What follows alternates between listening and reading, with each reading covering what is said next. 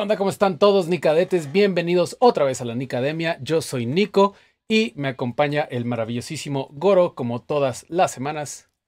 Hoy sí estoy en mi espacio completamente blanco, en mi escenario de Black Mirror y listos para darles un programa súper especial, dado que nos han llegado varias dudas sobre este tema. Hoy vamos a platicar sobre ¿Vale la pena estudiar una carrera en producción musical? Sí o no. Yo lo quiero llevar hasta si vale la pena la universidad hoy en día, sí o no y por qué. Y decidí en la Nicademia de hoy integrar un panel de individuos muy expertos y de muy diversos trasfondos en la historia de la vida para que nos ayuden a decidir. Antes de que pasemos con nuestro maravilloso panel, ah, les recuerdo que la Nicademia este verano se volvió física y ofrecemos talleres de verano, tanto presenciales como remotos. Los talleres que queremos presentarles este, el día de hoy, si pudieras mostrarle a la audiencia mi pantalla, les vamos este, a eh, presentar eh, grabación de batería, que es eh, los pormenores de grabar batería. El lema de la Nicademia oficialmente es lo que no te quieren enseñar en la escuela o lo que no te enseñan en la escuela, básicamente. Y siento que muchas veces en las materias de grabación, de técnicas de grabación, no hay suficiente tiempo para ponernos a experimentar con el bombo, con la tarola, con los overheads, que si pones un par espaciado o en XY que si la altura importa o la fase realmente, o sea, todas estas cosas que quedan como en duda en una sesión de grabación, te las podemos resolver. Producción vocal, por si eres productor, para saber hablar con vocalistas, por si eres vocalista, para saber hablar con productores. En producción vocal vamos a tener a, de invitada a una de mis eh, eh queridísimas amigas, este, mi hermana mayor, aunque es menor que yo, la mismísima Natasha Arguete, Natu, que ha estado varias veces de invitada en la Nicademia y vamos a llevarlos desde el proceso eh, de hablar con un vocalista en su propio idioma en términos de su estilo, expresión, eh, técnicas de canto, este, aspectos del tracto vocal, pasando por arreglo, también armonías, hacia grabación y postproducción de voces para una producción musical. Mastering también está disponible por si ya saben mezclar e incluso si no este, si se quieren meter al mundo del mastering, esta enigmática y oscura eh, disciplina dentro de la producción, la última en la etapa de producción eh, que normalmente hacemos, y, si quieren algo a nivel introductorio para empezar a introducirse en este tema, se los puedo ofrecer. También abrí un curso de mastering avanzado. Varias personas eh, me, me, dijeron que ellos ya sabían un tantito de mastering, que no necesitaban lo básico, así que querían como un mastering parte 2 ya abrí mastering avanzado igual. Y finalmente, el que ahorita me tiene muy emocionado es programación de plugins. Este, que es ya no solo usar software de audio, sino programar la tecnología con la que tú produces música. Programación de plugins te lleva desde nunca haber este, programado o nada, en realidad, hacia poder tener un plugin dentro de tu DAW que tenga una interfaz gráfica, que sea funcional, con el DAW de tu preferencia y así. De este taller vas a salir con un delay, un reverb, un filtro de paso bajo e incluso te voy a enseñar qué hay detrás de la programación de Autotune. Entonces, este, si eres ah, así de nerdo, bienvenido al taller de programación de plugins. cada uno de estos este, talleres tiene un costo de 4 mil pesos por el taller entero. Aquí les estoy poniendo también en la pantalla, eh, detrás de mi desktop de Loki, este, los, los horarios, los costos, ¿no? Les digo 4 mil pesos por todo el curso. Entonces, si tienen cualquier duda, me pueden contactar. Ahí está la información y espero verlos en la Nicademia este verano. No solamente ofrecemos talleres este, en verano, sino también recuerden que tenemos un programa de asesoría personal, eh, de mentorship, como me gusta llamarle, un mentorado, que básicamente son asesorías personalizadas dos veces a la semana conmigo, dos sesiones de una hora, dos veces a la semana. Te ayudo con el proyecto que tengas. ¿Quieres poner un estudio de grabación? Te ayudo. ¿Quieres poner, este, quieres condicionar tu cuarto para que suene mejor para tus producciones? Te ayudo también quieres aprender a mezclar, te ayudo, quieres aprender este, a producir una canción para un cliente con cosas de la chamba, te puedo ayudar si es que ya trabajas y no nada más estás estudiando. Incluso te puedo ayudar hasta con tu tarea de la universidad, siempre y cuando sea de producción musical, por supuesto, ¿no? Please no me pongan a derivar ni integrar porque ya no me acuerdo de nada de eso. El costo de los mentorships son 3.500 pesos al mes si quieres dos sesiones de una hora, eh, dos sesiones a la semana.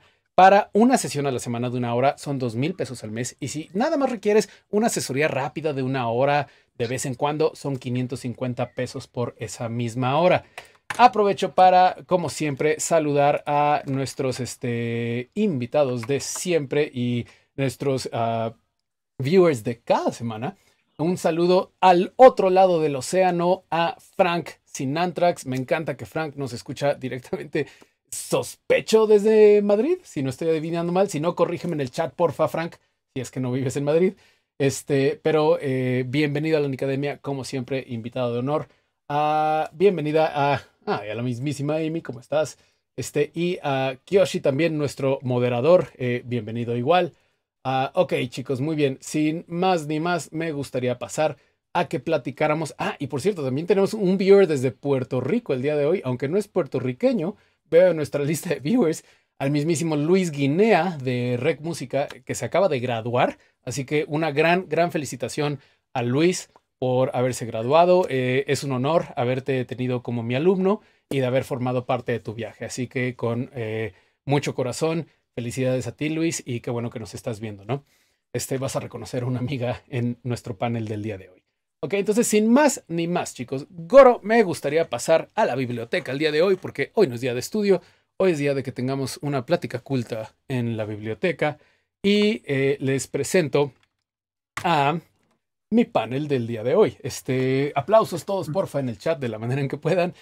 Les presento a nuestros tres invitados. Tenemos directo desde, ah, voy a mencionar sus universidades este, y ocupaciones también compositora, productora, artista independiente, la mismísima Paola de Canini, egresada de Berklee College of Music, mi contemporánea en Berkeley también, una amiga queridísima y estoy súper feliz de que estés el día de hoy. Pau, bienvenida. Hola, muchas gracias por la invitación, Nico, y muchas, mucho gusto de hablar aquí con todos ustedes y ayudarles en todo lo que yo pueda.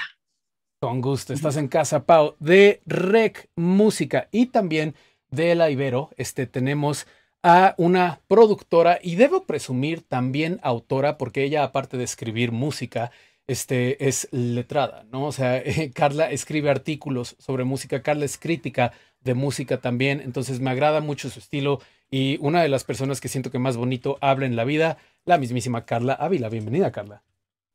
Ah, muchísimas gracias, Nico. Creo que esa es la introducción más bonita que me han dado Muchísimas gracias por eso. Con gusto. Este, ahí estás, este, e, e, igual estás en casa. Estoy en este, casa de Juan Pablo. Estoy en casa ah, Juan Pablo, también un gran amigo de Rec Música, este, uno de los, me, encanta que un día son mis alumnos, al siguiente son mis colegas y amigos, ¿no? O sea, así que pues, Pablo, este, también un saludo eh, directo hacia tu casa, donde estamos entrevistando a Carla, ¿no? Con tu ropa de, fondo. Básicamente, sí. es real, es real. Este, chido, chido. Y eh, debo presumir, eh, yo diría, el viewer más ávido de la Nicademia. Yo creo que él no se ha perdido ni una lanzó la Nicademia desde que salió, uno de nuestros participantes más activos. Y honrosamente eh, digo hoy, este, uno de mis alumnos mentorados, o sea, eh, él está en el programa de los mentorships que les acabamos de anunciar, además de ser un artista independiente y también ser ingeniero de audio, eh, específicamente de diseño sonoro, ingeniería para medios visuales, el mismísimo, el grandísimo Gerardo Toledo. Bienvenido, Jerry. Hola. Gracias por esto. Perfecto, chicos. No, pues este, eh, una vez más, gracias por venir. Este, oh, wow, fíjese, sí me corrigió Frank en el chat. Frank no nos ve desde España. Me dice, en realidad vivo en la Patagonia chilena, pero soy de Barcelona. Hay pero está mucha gente. sí, Un barquito y ya. Este, este, acá. Entonces, Frank nos ve desde Chile. Este, qué chido, la verdad, me encanta. Ah, muy bien, muy bien. Tenemos, oh, wow, eh, una nueva suscripción. El mismísimo Alexandre se acaba de suscribir en el Tier 2. Muchísimas gracias, Alex. Este, you are the absolute best. Y eh, debemos agregar que Alex se acaba de suscribir por quinta vez. O sea, lleva cinco meses suscrito a la Academia. Entonces, este, muchas gracias por tu apoyo, Alex, y eh, te consideramos un consent de la Academia también. ¿Ok? Ah, muy bien, ah, gracias a también los que nos acaban de dar follow en Twitch y gracias a los que siguen nuestras redes. Intentamos especialmente en nuestro Instagram, en TikTok, todavía seguimos como que arrancando un poquito, pero en Instagram eh, intentamos darles información extra que normalmente no vemos en el stream y que les pueda ayudar en sus producciones. Muy bien, chicos, este, una vez más, pues gracias por estar en la academia y comencemos con esto. Ustedes tres tienen trasfondos muy, distintos, muy distintos y muy interesantes. ¿no? En primera tenemos tres universidades diferentes. Tenemos el TEC, Rec Música y Berkeley College of Music en producción musical en específico. Y quiero aquí abrir porque siempre nos llega esta pregunta, ¿vale la pena o no? Y aquí quiero poner en, como en un encontrón a alguien que está a punto de graduarse, que es Carla, y a Jerry, que está pensando realmente la universidad es, lo mío o no. ¿no? Entonces, Carla, vamos primero contigo. O sea, tú, que tú estás a punto de graduarte, ¿no? De REC. Sí, sí, sí, me falta un semestre. Va, perfecto. ¿Y, cómo has sentido hasta ahorita que ha sido tu experiencia en REC Música? ¿Te, te, te ha gustado? Te... ¿Cómo te sientes? Sí, definitivamente, o sea, me ha, gustado. No creo que pueda resumir como la experiencia en general a como solo pues una opinión o alguna frase, porque es súper diferente cuando estás en primero o segundo semestre, que no entiendes nada de armonía, a estar en séptimo o octavo cuando ya realmente te dedicas a producir, a hacer música. Son dos experiencias súper distintas, realmente estar en el salón tomando nota y en clase de 7 de la mañana, a estar a las 3 de la mañana grabando algo.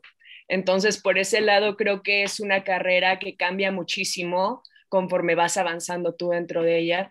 Y también es una carrera que, bueno, obviamente aplica para muchísimas áreas, pero creo que particularmente esta carrera tiene muchísimas vertientes y creo que esa es la parte que vale más la pena estudiarla, que es el hecho que mientras la navegas te vas dando cuenta de para qué cosas eres pertinente, qué cosas te gustan, qué cosas eres bueno, pero en serio no te gustan y no quieres hacer. ¿Quieres decir algo? Sí, hablando de eso, porque me estás picando el interés muy cañón. Tú, eh, hablando de, hablas de primer semestre, de último semestre, de tus distintos horarios.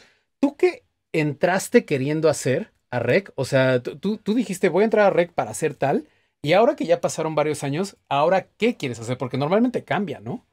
Sí, sí, completamente. Y bueno, sé que es como un, fenómeno, como muy, ah, muy visto, porque es una conversación que tienes con tus compañeros en diferentes puntos de la, pues de la escuela, ¿no? Y es como, entras y para empezar ni siquiera sabes qué es lo que hace un productor musical. Entras porque de alguna manera es como la carrera más moderna, entre comillas, que tiene que ver con música. Ya no estás entrando a ejecución o a composición, o así, no, me voy a dedicar a la música y voy a ser productor musical, pero entras y no sabes que es un productor musical, o sea, eh, topas que los álbumes tienen productores, pero pues tú nada más contemplas el artista en un inicio, nada más como una persona que escucha música pues por gusto, ¿no? Entonces realmente entras y no tienes la más mínima idea de todas las cosas que implica hacer, aunque sea un jingle para un comercial de 15 segundos. Entonces, no tanto que vaya cambiando como tu, el qué quiero hacer o en qué me quiero enfocar, sino que o por lo menos, o sea, desde mi perspectiva, simplemente te vas dando cuenta y vas poniendo como las cosas en un orden como un poquito más lógico, te vas dando cuenta de que, pues, ok, va, pues si quiero mezclar, pues entonces esto va después de toda la preproducción, de toda la producción, de toda la grabación, es como empezar a organizar todo en tu mente y a partir de eso, pues tú ya te das cuenta, ah, pues yo voy por aquí o me interesa por acá, no es tanto de que cambies de opinión, simplemente te vas enterando, simplemente lo vas formulando en tu mente y tú mismo como que solito te vas inclinando a diferentes cosas. O sea, si tú eres neta muy bueno grabando baterías, entonces lo más probable es que acabes grabando baterías el 80% de las veces que estás trabajando en algún proyecto o ayudando a alguien. Entonces no importa realmente que estés ahí siendo productor musical, si realmente tú tú contribuyes al proyecto de una manera específica, no tienes que ser el productor. Y creo que es una enseñanza que te deja muy claro el trabajar el equipo a lo largo de la carrera. Oye, Carla, y te, voy a preguntar como entrevistador de Televisa, ¿no? ¿Y en qué está Carla Ávila hoy en día? Carla, Carla Ávila está tratando de, averiguarlo todavía, de hecho. ok, ok estoy definitivamente tratando de emprender mi carrera como compositora, que es así lo, que, lo que más me ha gustado hacer desde que tengo memoria es escribir canciones. Antes de que supiera que era un verso, que era un coro, yo estaba escribiendo canciones. Muy mal, muy mal, definitivamente, pero lo estaba haciendo. Entonces, o también. Sí, sí, completamente. O sea, y, y también se, se, conecta un poquito como con la pregunta pasada. O sea, yo al inicio de la carrera no había ni siquiera contemplado de que existen posibilidades de una carrera como compositor. Yo ni siquiera habría contemplado que existe la posibilidad de una carrera únicamente como, como ingeniero, no como productor, que tienes que estar haciendo todo, todo el tiempo, ¿no? O sea, literalmente puedes agarrar como tu colchoncito y decir, yo me quiero ir por acá. Chance no tiene nada que ver con el 90% de las clases que tuve, pero de algo me sirvieron para darme cuenta que por aquí me quiero ir. Entonces, mm. la composición, definitivamente, en primer lugar es la composición me gusta muchísimo producir también, pero no soy tan buena produciendo como lo estoy componiendo. ¿Por qué? Pues, porque, o sea, tú, tú, lo dijiste un poquito como cuando me presentaste, yo traigo un background muchísimo más humanista, yo traigo un background muchísimo más de letras, de historia del arte, de filosofía, etcétera, que de producción musical, que de música. Yo realmente me enteré de que era una escala musical hasta que entré a la escuela. Entonces, por, por, este lado, pues traigo como todo un set de herramientas y de conocimientos previos que entré a la carrera y pues no veía por dónde aplicar, era algo completamente distinto, algo que pues no necesitaba utilizar en el inicio, pero pues ya avanzando, ya dándome cuenta de, de cómo es que yo puedo contribuir al proyecto en el que estoy trabajando o al artista que estoy produciendo o lo que sea que esté haciendo, es como, ok, pues o sea, probablemente haya muchísimos compositores, pero ¿cuántos compositores tienen este background? ¿Cuántos compositores realmente se han clavado en, en ampliar sus conocimientos en términos no musicales. Que al final ser un artista es eso, o sea, ser parte investigador, ¿no? O sea, ser parte explorador de, de, conocimiento nuevo, ¿no? Este, y aquí quisiera también tornar la pregunta a Jerry, porque Jerry igual, hablando de filosofía y hablando de pensamientos profundos, Jerry, eres una de las personas que, que, siento que me lleva como a, a, otra galaxia, así, en cada mentorship, ¿no? O sea, no sé si estás mentoreando tú, mentoreando yo. ¿No? Este, ¿Tú crees? Y, tú, Jerry, este, eh, me has platicado varias veces que, que sientes esta cierta incertidumbre sobre si la universidad realmente te está aportando, como dice Carla, un rumbo en dejarte conocer lo que de verdad te gusta y lo que de verdad no. Porque siento, y corrígeme si me equivoco también, que tú ya sabes qué rumbo quieres y no estoy tan seguro que el TEC te dio por completo ese rumbo y como que lo descubriste tú. Eh, es muy complicado porque, digamos, entras con una idea, bueno, al menos en mi caso entré yo con una idea ya, en la mente, o sea, yo desde secundaria ya quería como algo de, o sea, como de música, pero como para hacer sonidos raros. no sé si te he contado esa mi primera experiencia con, con mi primer do. No, creo que no te la he contado. no, pero en lo de hacer sonidos raros tú y yo coincidimos muy cañón. La gente me eh, conoce por eso también. No sé, siento como que hay como varias personalidades, pero digo, al menos en mi caso fue como de que llegué con la idea de, querer este, eh, esta parte eh, sintética, por así decirlo, ¿no? Este, entre comillas enormes. Entonces, pues yo entré con esa idea, pero fui conociendo otras cosas y digo, fue como evolucionando, pero el sentimiento se mantenía ahí. O sea, a veces me pasó como de que me decía a mí mismo como de, ah, no, pues es que si no haces esto, quizá este, no te va a ir bien, ¿no? O si no sigues como este camino que, que es como el camino seguro, como del dinero, pues no, no vas a, a, salir adelante, ¿no? Hacerla. hacerla, exacto. Entonces muchas veces sí, sí me engañé como de esa forma, o sea, también no es como de que hiciera cosas que no me gustaran, pero digamos, este, eh, te digo, como de postproducción, a veces me echaba como unos trabajos como que decía como, ah, pues, pues bueno, no me, no me encanta, no me molesta tampoco, estoy como en el limbo, pero realmente no es lo que quiero completamente. Entonces, siento como que en el camino vas conociendo como muchísimas más cosas. Entonces, ahorita al menos ya tengo como en mente como de, ok, quiero, quiero tener mi sonido, quiero, y si me buscan como para algo, quiero como poder nutrir como sus proyectos, ya sea como en una producción o justo en un audiovisual. Entonces... Y, déjame preguntarte agudamente. claro. Una vez más, ¿el, el, tech te dio eso o sientes que fuiste más tú el que descubrió eso? Ah, está también complicado. Porque por una parte fui, fue completamente de mí completamente. Porque digamos, también de mi programa ahorita ya, ya está completamente diferente, este, pero en IMI, que era, bueno, que es en el que estoy. El nombre de la carrera, ¿no? Sí. Sí, el nombre que es de ingeniería. Entonces, ingeniería, ingeniería. Para los que no están versados en, en el, pues, los haberes del TEC, IMI son las siglas de la carrera de ingeniería en producción musical Nadie sabe por qué son IMI. Es algo que nunca hemos descifrado. Y hoy en día cambió a LTM, que es licenciatura en tecnología musical, ¿no? Lo cambiaron de ingeniería a licenciatura. Este, una movida académica. Ahí yo creo que este, para, para no espantar con mates y ciencias. Este, pero perdón, Jerry, ya, solo quería aclarar eso. Dicen los rumores que es de ingeniería en música interesante. no. Seems legit. sí. Este, ¿en qué estaba? complicado, ah, ¿no? Que no. Sí, sí, sí, porque digamos, prácticamente tienes una clase de producción musical y de ahí pasan dos años para que tengas otra, así como para entrar al estudio y como para que te, este, sí, sí, para estar en un estudio y echar desmadre, tiene que pasar como dos años, o sea, como hasta quinto semestre ya empiezas a entrar. Entonces, pues no es suficiente. Sí, como chavo de 18, 20 años, obviamente lo que quieres hacer es arrancar metiéndote al estudio y empezar a hacer música de inmediato, ¿no?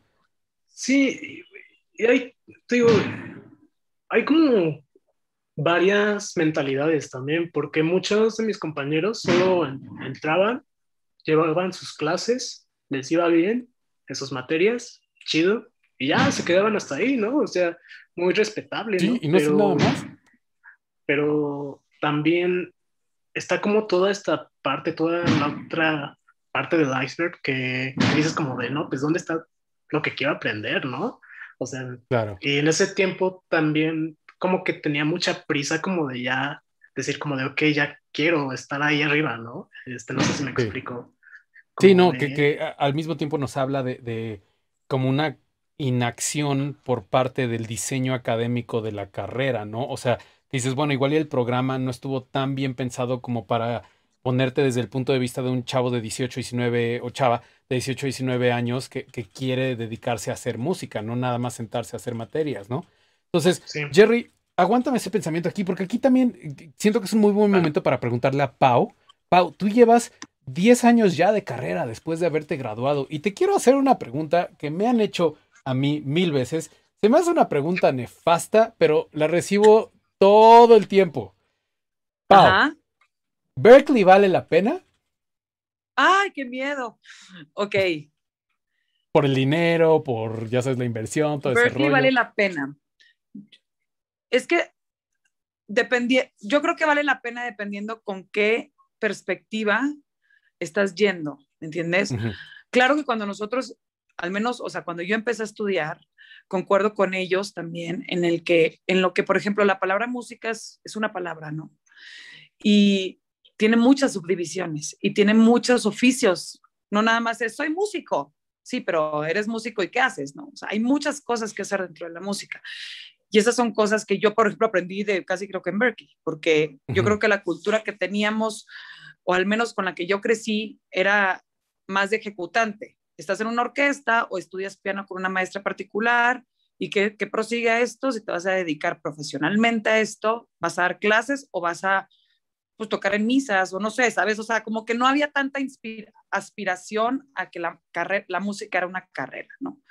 Al menos ese era mi, mi acercamiento. Ahora, lo que me preguntas, creo que sabiendo estas cosas, si tú sabes aprovechar una escuela como Berkeley y sabes verle las cosas que hay que, hay que verdaderamente valorar, como por ejemplo una que es para mí apreciable y tú, tú lo sabes porque estuvimos en la misma escuela eh, y, a lo mejor ellos también lo saben refiriéndose al TEC o, al, o a REC o a cualquier otra universidad, ¿no?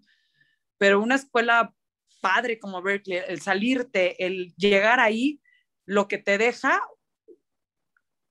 son relaciones, son muchas relaciones, ¿sabes? El hecho de que podamos ir a algún lado del mundo y que probablemente conozcamos a alguien, el hecho de, ¿sabes?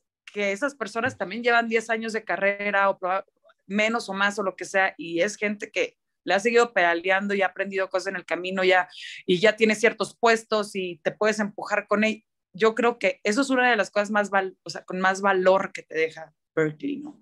Claro. Hablando de la parte académica, este, pues como dijo ahorita, ay, repíteme tu nombre, perdóname, el chavo. Jerry. Jerry. Jerry, Jerry, perdóname. Este, creo que por la parte académica sí hay gente que realmente va y cree que sacarse una A está cool. No es eso. O sea, uno se da cuenta realmente que existe una escuela eh, en la formación que tú quieras, en Berkeley, en el TEC, en el SAE o donde sea, o, o en REC, pero hay una escuela de la vida también. De hecho, no sales como productor. Yo, o sea, tienes que, que producir realmente, ¿verdad? Creo que tienes mucha razón, Pau. Yo sentí que me hice productor hasta un año después de graduarme de Berkeley. Yo no siento, o sea, si reflexiono, yo no creo haberme sentido productor dentro de Berkeley. No. Yo recuerdo, de hecho, cuando me gradué de Berkeley, que me entró una paranoia de verdad cañona cuando iba en el avión de regreso a México y me pregunté, ¿qué sabes hacer? Dije, ay, nada.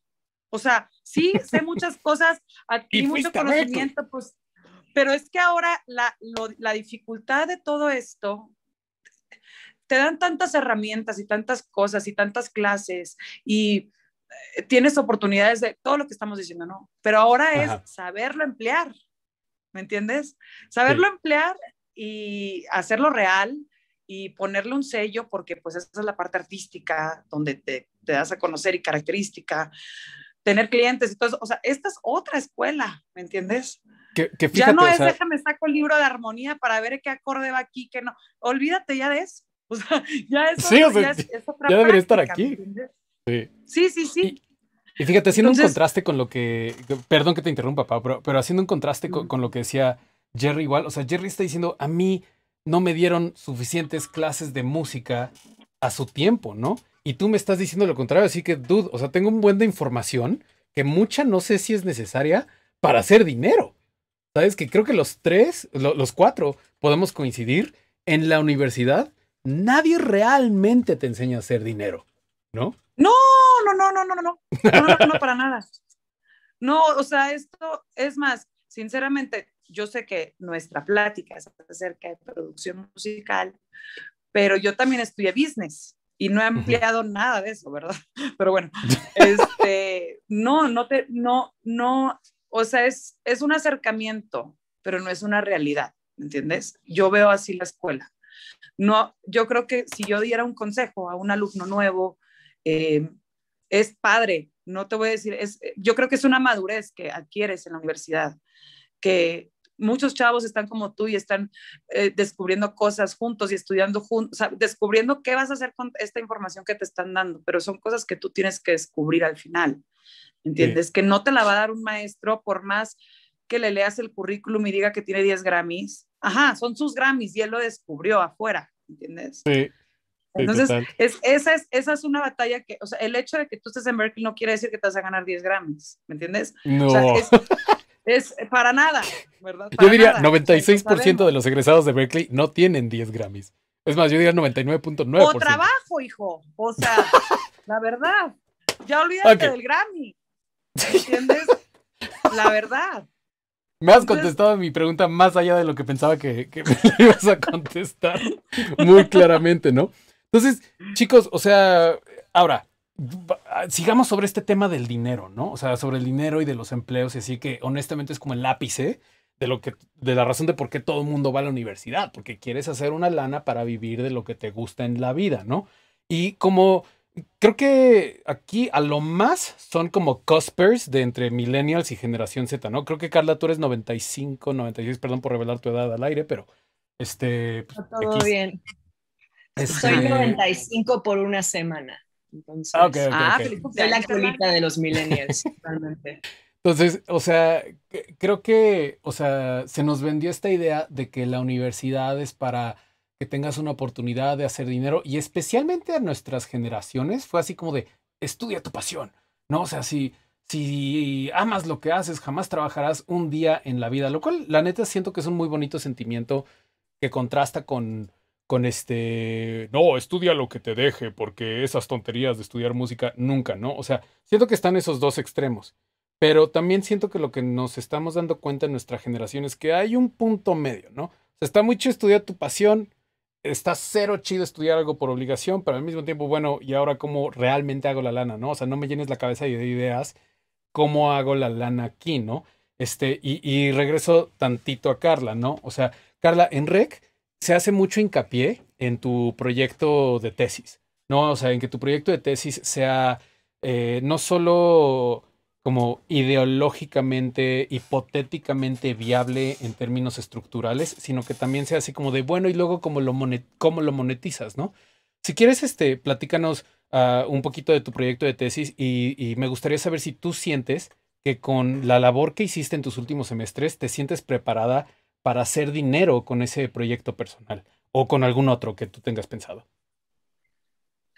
Ah, dígame, es, es que es, sí y no al mismo tiempo. Eh, em, empiezo por el principio, empiezo por la tesis. Ah, mi proyecto de tesis este, se me hace como súper cool que lo saques al aire porque justo va pues de la mano con mi carrera pasada, que pues era literatura. Mi proyecto de tesis es una editorial de libros de composición. Y pues bueno, la razón por la que lo tuve que plantear de esta manera es justamente porque la tesis se tiene que plantear como un negocio. Entonces yo no podía hacer una tesis sobre, solamente escribir un libro de composición, por ejemplo. Entonces no, tenía que hacer la editorial completa. Que pues bueno, el proyecto de tesis, como tú lo dijiste, es realmente para pues tener como en mente cómo funciona el mundo allá afuera. Si yo quiero hacer algo, si quiero emprender algún negocio o algún proyecto, tener las herramientas para ya saber por dónde empezar. Realmente el proyecto de tesis, a mí, por ejemplo, o sea, solamente se me hizo entender cómo funciona el mundo. Entender que, que en el país en el que vivo, hay leyes que aplican, eh, si quiero hacer ese tipo de cosas, si, eh, necesito hacer estos registros, registros de mm. marca, registros de canciones, o sea, como que... Un Adulting 101, ¿no? Sí, sí, sí, sí, completamente. O sea, literalmente como que todos los capítulos de la tesis, el ir viendo como la cuestión financiera, el ir viendo el organigrama, el ir viendo pues los permisos que necesitas, etcétera, etcétera, más que ser un proyecto que pues tú tengas que poner en marcha porque pues ya lo hiciste, ya lo planeaste, se me hace que es un proyecto que solamente te enseña cómo funciona el mundo real, cómo funciona el trabajo en equipo allá afuera, cómo funciona pues eh, a veces el cobrar por ciertos servicios, etcétera, etcétera. Entonces, sé, por ejemplo, que hay muchos de mis compañeros que sí realmente quieren llevar a cabo sus proyectos de tesis, proyectos como pues no sé, productoras, casas este, productoras o estudios. Por ejemplo, Luis Guinea, que pues ya se le, se le hizo el shout out, hizo su, su tesis sobre Moctezuma este, Music, que pues es lo que está haciendo él ahorita como productor, su proyecto independiente. Entonces, creo que es muy, es, es como, hay, hay, una línea de, de dos extremos súper diferentes. O hago mi tesis porque voy a aprovechar y hacer lo que yo quiero hacer con ella, o hago mi tesis porque la tengo que hacer y ya, punto, porque sale. Yo estoy un poco en medio yo quiero escribir libros de composición, a mí me fascina, me encanta, o sea, no quiero hacer un libro de ejercicios de composición que se pueda vender en Amazon porque esos ya hay 500, quiero hacer un libro sobre la filosofía de la composición, o sea, llevarlo como mm. más por mi lado, pero pues bueno, para la tesis lo tuve que plantear de otra manera. Entonces realmente son como, son diferentes como espacios los que te funcionan en ese sentido. O sea, yo ya tengo, por ejemplo, todo el background editorial que necesito para poder publicar mi libro, a pesar de que no esté poniendo mi empresa. Muchísimos mm. de, mis compañeros que estaban poniendo estudios o productoras, pues ahora saben muchas de las cosas que no te dicen en clase que tienes que hacer para realmente poner tu business como productor y no estar trabajando en una disquera o en algún otro mm. estudio o con, o con alguien de la mano, sino realmente para... O sea, te están girando a ser autosuficiente, básicamente. Ajá, sí, sí, completamente. O sea, y es un proyecto que, que a mucha gente le choca, o sea, porque es muy pesado y honestamente somos músicos y la mayoría de la gente en red que quiere agarrar la guitarra y estar tocando siete horas al día, no estar enfrente de una computadora escribiendo para qué necesito el puesto de recursos humanos, ¿sabes? O sea, es, muy tedioso en ese sentido porque pues en general, o sea, la gente que está estudiando música no tiene un perfil como tan organizado o tan... o tan esto, tan político, entre comillas, como para estar planeando una empresa, para estar administrando pues un proyecto de ese tipo. Pero de nuevo, o sea, al final del día vamos a salir de la carrera, vamos a empezar a trabajar con diferentes personas, con diferentes empresas, con diferentes grupos, con diferentes lo que sea. Y al final del día, o sea, todo lo que vimos en la tesis nos va a ayudar a saber, ah, pues es que este estudio está así organizado.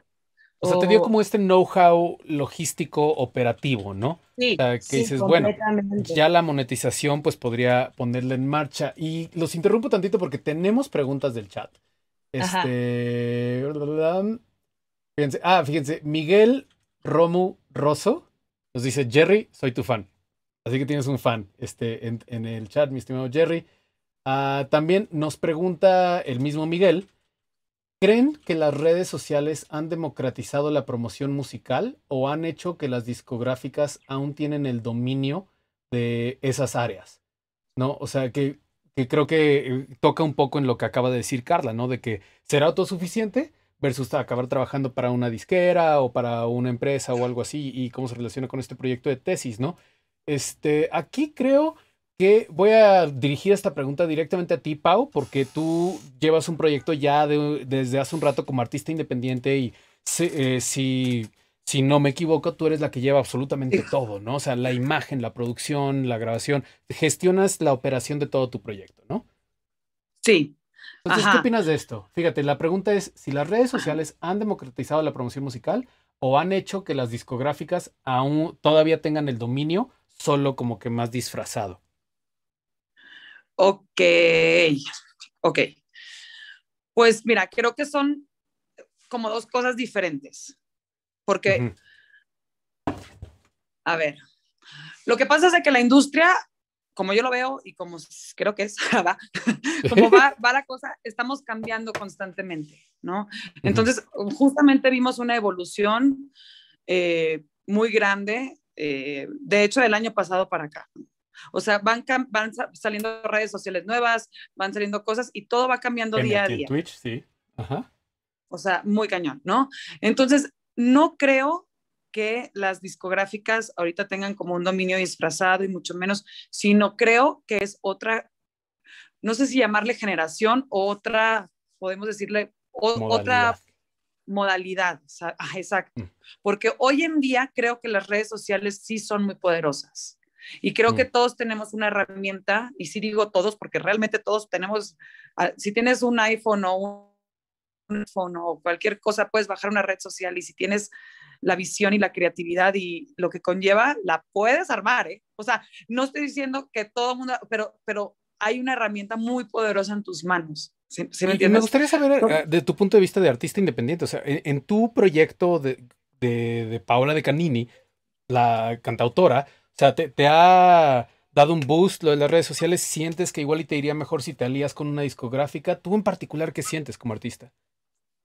Ok, mm, no, no creo que posiblemente me podría ir mejor si me alío con una discográfica porque tendría eh, a lo mejor más dinero, ¿me entiendes? Para realizar cosas. Cuando tú lo haces sola, pues muchas cosas son eh, de ti, o sea, o sacas patrocinios o son de ti, ¿sabes? Pero todo es, tú eres la productora, o sea, tú eres tu manager casi, o sea, tú, tú estás moviendo ese proyecto sola. Entonces, creo que no es, vaya, no, no, me, no, no estoy buscando que me firme una discográfica para nada y lo podría manejar, o sea, sí lo puedes manejar sola, lo puedes manejar con redes sociales, pero tienes que tener ciertas estrategias y sobre todo es un business plan, o sea, hacer, un, hacer un, una, mm. un, una carrera como artista o como cantautor o como lo que tú quieras y este rollo de las redes sociales es un business plan realmente, que tienes que estar con una constante y tener varias ramas cubiertas de cosas como ciertas fotos y cosas. entiendes un poquito a fondo eso, lo puedes hacer, ¿me entiendes? Y hay un nicho para eso, hay un nicho para eso, que no necesariamente, porque son dos cosas. O sea, el hecho de estar firmada con una disquera, estás hablando de cuenta de, de una altura, ¿no? Y el hecho de no estar firmado, pero tener un proyecto successful, también tiene una altura. No necesariamente la altura de la discográfica es la mejor. ¿Sí me entiendes? Mm. A lo que mm, claro, claro, claro. Un poco. Que siento que se está conectando un poco con también lo que nos platica Carla, porque, o sea, tú, Pau, me hablas, si me meto con una discográfica, hay cierta facilidad operativa y logística hacia lo que yo quiero hacer que me permite a mí concentrarme más en lo importante que es hacer mi música, ¿no? De la misma manera en que yo ahorita no me tengo que preocupar del stream de Twitch porque Goro está operándolo y yo me enfoco de platicar con mis amigos, ¿no? O sea, sí hay cierta virtud en formar un gran equipo, ¿no? Este, y, aquí, ah, fíjense, nos comenta nuestro suscriptor eh, Alex, yo creo que las majors están pasando un momento interesante. El ejemplo es The Orchard y Sony. No hay mucho de RRSS en ese efecto. Es más por el tema de contratos y donde están los artistas que generan dinero. Ok, no entendí eso último, pero igual y nos puede explicar. Para que se entienda eso, ah, perfecto.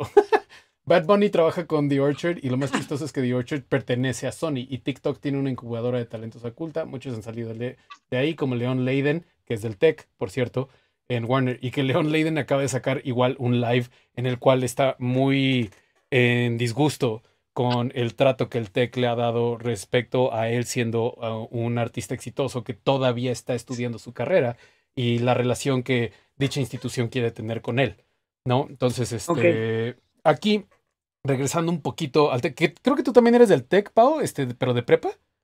Prepa, prepa, sí. Sí. y tú también, Jerry, ahí te conocí en la prepa del TEC, ¿no? Entonces, Jerry, eh, quiero regresar un poquito al tema del, del dinero este, y de que nos enseñen a hacer dinero en la universidad y en la vida y así. Ah, cierto, Carla también. Tres de prepa tech, oh Dios mío. este. Uh, Un, dos, tres. No son, solo tres, somos cuatro. y Goro también es de prepa tech. O sea, Dios mío, Tech de Monterrey nos debería estar patrocinando. Borregos, Prepa Tech. Qué buena mercadotecnia el Tech de Monterrey. Sí, ¿eh? Está en todo el Tech. Este, ok, Jerry, quiero regresar contigo porque eh, tú, tú empezaste a hacer dinero antes de graduarte, ¿no? O sea, me gustaría que nos platicaras un poco de ese trip, o sea, de cómo terminaste ya agarrando chamba, incluso desde antes de titularte. Digo, todavía no me titulo. Ah, no, Jerry. Sí, sí, desde antes.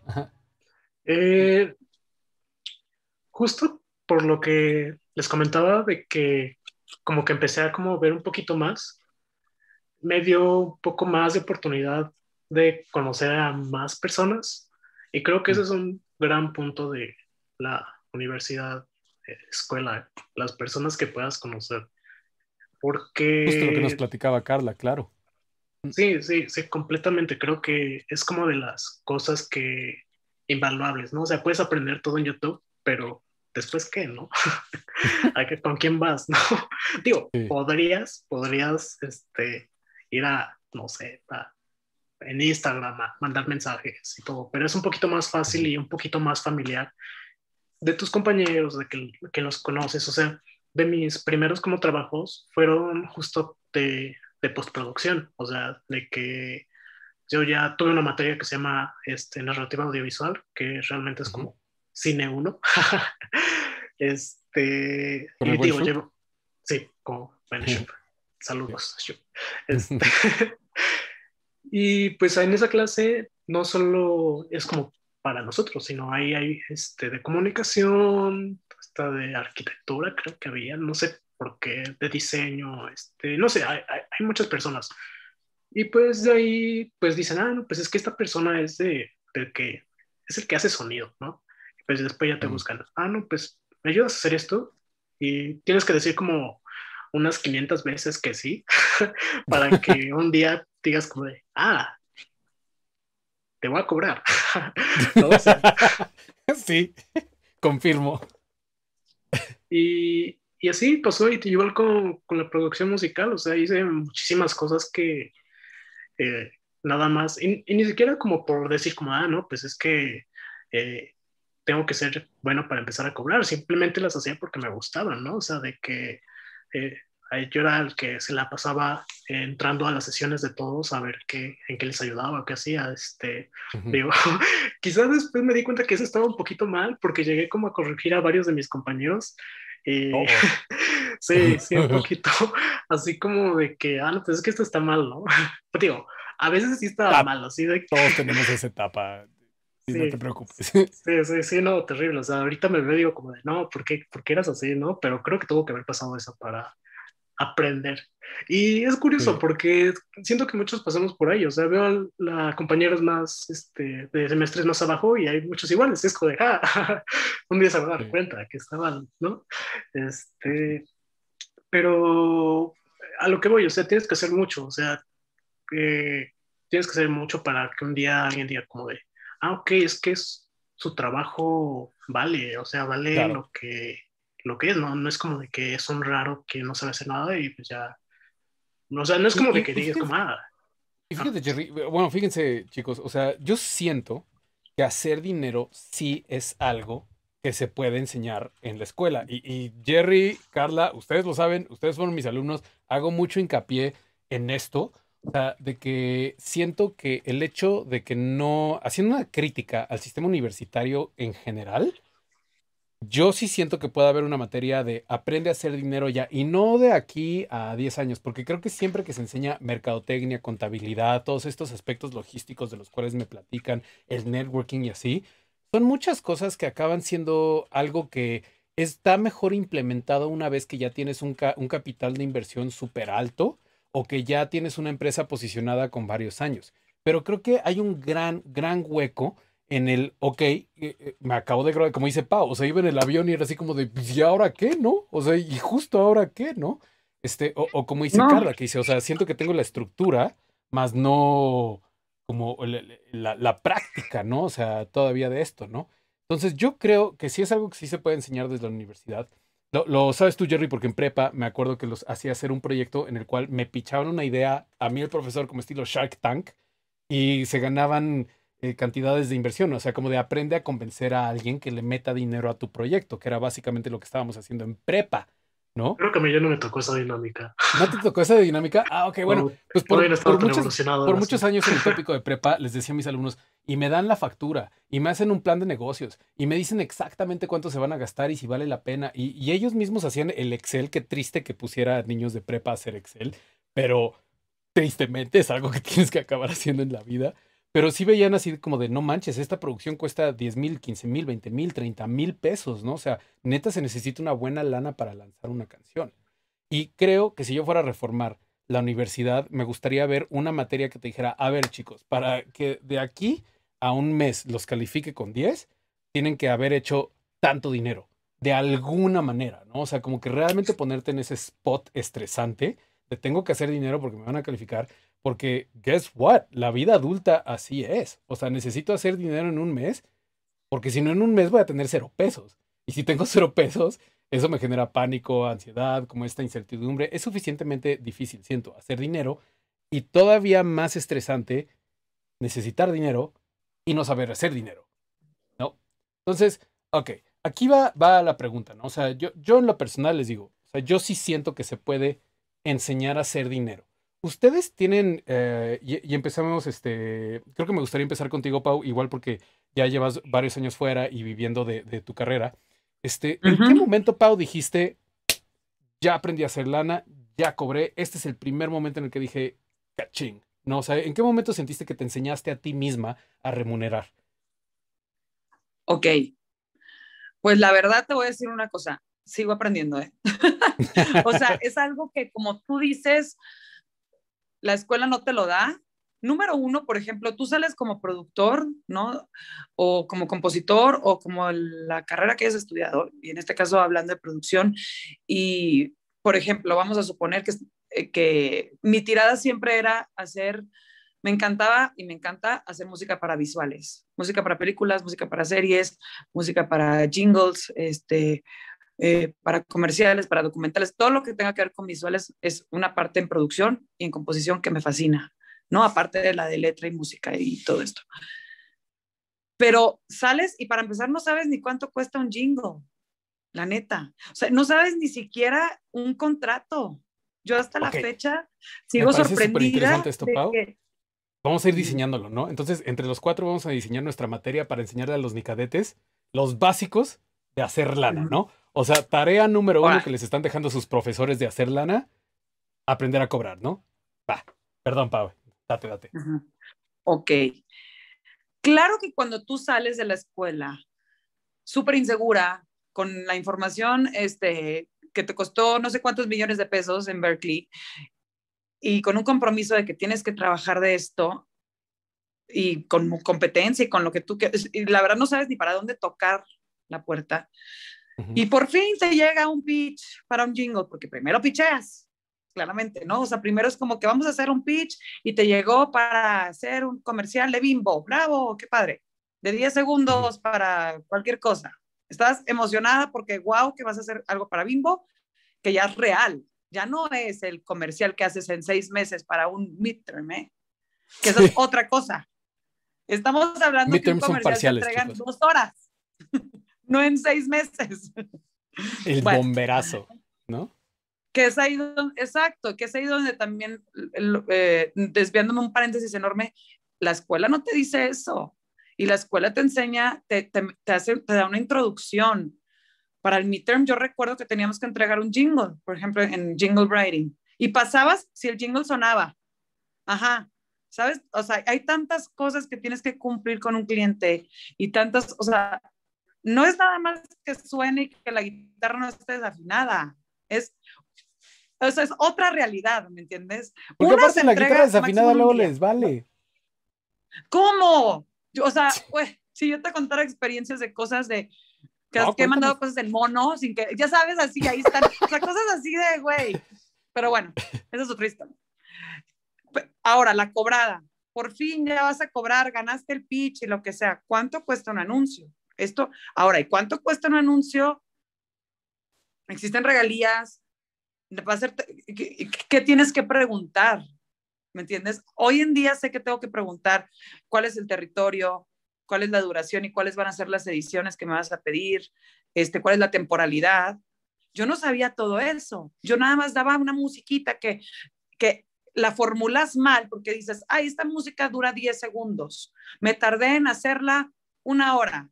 Pues una hora de chamba son mil pesos, por decir algo. No son mil pesos. Hoy en día sabes que esa música generó regalías, le generó una mercadotecnia a una marca, se, se transmitió probablemente en, hasta en Croacia por una temporalidad de tres años, no pediste renovación de contrato, ya sabes, todas estas cosas. Y lamentablemente, por ejemplo, una casa productora, que es este, la que te contrata, que, o, sea, yo doy el servicio a la casa productora como compositor y la casa productora eh, responde a una agencia y la agencia responde a un cliente, ¿no? Es como esa cadenita. si yo no traigo estas cosas en la cabeza, Exacto, ¿no? O sea, si yo no traigo estas cosas en la cabeza, el productor me va a contactar a mí y me va a decir, Paola, hazme un anuncio para Bimbo. Bueno, hazme un pitch. Tienes el, al principio, ¿no? Tienes eh, la gran ventaja de que vas a ser eh, seleccionada para hacer un pitch y vas a competir con 10. Increíble, ¿ok? Mándame tu presupuesto. No te van a decir, no te van a dar instrucciones. Ya no estamos en la escuela, ¿me entiendes? Y estas cosas, lamentablemente, yo las tuve que investigar sola, con varios mm. contratos que que, la verdad lamentable es, o sea, la verdad tardé en aprenderlo unos cinco años, de estar haciendo anuncios y pitches y no sé qué, que es la mitad de la carrera que yo ahorita, ¿me entiendes? O sea, es, no, y hasta la fecha me sigo sorprendiendo, o sea, hay cláusulas y cosas en contratos y que digo, ¿esto qué? ¿Esto qué? O sea, está muy, si, si no te enseñan a cobrar y no te enseñan ni siquiera cuánto vales, ¿me entiendes? ¿Cuánto vale lo que estás dando? Hablando un poquito de lo que yo hago, ¿no? De publicidad. Que, al fin y al cabo sí es muy mecánico. También, o sea, ¿mandé? Que al fin y al cabo sí es muy mecánico, o sea, sí se puede formularizar así de, mira, si estás con agencias, si hay regalías, si están estas variables, entonces tú puedes calcular que te mereces esto, literal. O sea, porque no estamos hablando de, de, un poema, ¿no? O sea, estamos hablando de una cantidad muy medible. Exacto, exacto, exacto, exacto. Entonces, está, o sea, ahora, si tú como chava o chavo o chave, no, no te creas, a ver, que, va saliendo de una escuela, o a mixe, que va saliendo de una escuela, la verdad es que aquí, por ejemplo, todo lo de la plática, nunca te van a pedir el, tu título, ¿eh? O sea, aquí para pedir el trabajo del anuncio, no vas a mandar el currículum donde dice que tuviste Dean List en Berkeley a nadie le importa, ¿sí me entiendes? Aquí importa que resuelves. Entonces empiezan otras cosas. Las, o sea, empieza, ya no apliques los conocimientos de la escuela, ya empieza la escuela de la vida y esta es la realidad, ¿entiendes? Si tú cobras barato, si vamos a suponer, tú haces tu matemática en la cabeza y dices, ok, me tardé una hora en hacer ese anuncio de bimbo que es de 30 segundos y me van a pedir un lift de 10 para redes, y, una y ya, hasta ahí llegaste. Hasta ahí llegó la información que la productora te dio. Pues ok, pues está chido que me dé dos mil pesos. Y no estás, no estás realmente familiarizada y mandas lo de los dos mil pesos, automáticamente van a decir, esta es nueva. ¿Me entiendes? Esta es nueva y no sabe cobrar y no sabe ni cuánto cuesta y probablemente ni te van a volver a contratar, te van a poner el pie. Entonces, esas cosas no te las enseñan, tienes razón. Y sí debería de haber una clase en la que un maestro, eh, por ejemplo, aquí de visuales, o sea, otro maestro que sea de producción, que, se, que de cobrar, ¿me entiendes? O sea, está muy cañón que tienes que tropezar y todos tropezamos, todos tropezamos sin duda. ¿No? no y, y, nos frustra mucho, como dices, a los que ya llevamos unos años en carrera. Yo literalmente, este, y tuvimos el programa de la Academia sobre cómo cobrar, literalmente eh, en aspecto de producción nada más, ¿eh? O sea, yo, yo no voy a hablar en aspecto de, jingle, ni de regalías, ni nada, porque yo estoy hablando nada más del, del aspecto de, de, mezcla, de máster, de ah, todas estas partes ya un poco más técnicas. Yo sí lo pude reducir a una fórmula, pero avisando que honestamente es mi fórmula para mi área de la industria que no aplica al área de la industria de Pau. ¿no? O sea, que es totalmente claro. de otra manera de cobrar, cobrar. Y si yo fuera a meterme en la rama de Pau, tendría que hablarle a Pau y decirle, Pau, por favor, puede ser mi profesora de cómo cobrar, porque me acaban de contratar para hacer un jingle. Y me ha pasado con Miki Sierra y yo, de también colega de Berkeley, igual nos hemos como platicado así de, oye, tú mezclas en 5.1, yo no, bla, bla, oye, como cuánto cobrarías por esto, ¿no? O sea, gracias. Claro. Y es lo que tienes que hacer, porque es la única manera de hacerlo porque la universidad no te lo dio.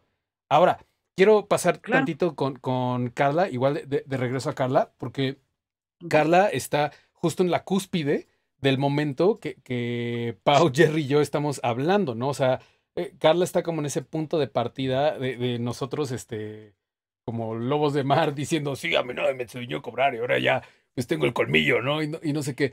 Carla, o sea, tú que, que probablemente ya has escuchado a varios de nosotros que nos graduamos antes hablar sobre eh, tienes que aprender a cobrar, tienes que aprender todo este rollo, o sea, todo lo que acabamos de decir. Si, por ejemplo, y I'm gonna put you on the spot, ¿no? O sea, vamos a poner esa prueba, a prueba esa doble educación universitaria, ¿no? Si yo ahorita te dijera, vamos a pensar en algo razonable, ¿no? Sea que te lo pichó un familiar o varios familiares o tomaste un préstamo del banco o algo así. Si yo ahorita te dijera, toma, pensemos, 20 mil pesos, ¿no? O sea, para que los multipliques, ¿no? O sea, para que los vuelvas un negocio viable. ¿Tú qué dirías? Esto es una inversión que vale la pena hoy en día, ¿no? Y puede ser en cualquier área que tú quieras de, tu elección. Ok, es, está, difícil. Está I'm sorry putting you on the spot. No, on purpose. That's totally cool. Um, creo que, bueno, creo que hay, hay como muchos muchas maneras de aproximarse como pues a la pregunta. Puedes tomar como el lado fácil y puedes saber, por ejemplo, no, pues es que en la, en la parte de publicidad hay muchísimo dinero, entonces voy a invertir mi dinero en, en, hacer contactos, en tener un portafolio enfocado en publicidad, en justamente eso, networking, o sea, en pagar incluso plataformas, etcétera, porque sé que la publicidad me va a dejar una buena inversión de todo esto que le estoy dedicando ahorita. Por otro lado, yo personalmente como como compositor y productora, por ejemplo, los invertiría en artistas yo invertiría ese dinero en, artistas, justamente en procesos de producción, de distribución, de promoción, en realmente crear un, este, lo que hablaba hace rato Pau, en la estrategia de contenido, de, social networking, todo esto. O sea, yo personalmente, porque pues es lo que, a lo que pues yo me gustaría ir, o sea, sí, música para jingles, me llega un trabajo, pues no le digo que no, porque al final del día me encanta hacer música me encanta hacer música y si estoy aquí es porque quise hacer una carrera de ello, no para estar rechazando proyectos solo porque no serían lo mío. No para nada, o sea, todo lo contrario, si me llega un proyecto de publicidad, perfecto, hagámoslo como dijo Pau, pues te avientas y pues a ver cómo le haces, ¿no? Mundo real, escuela de la vida, etcétera.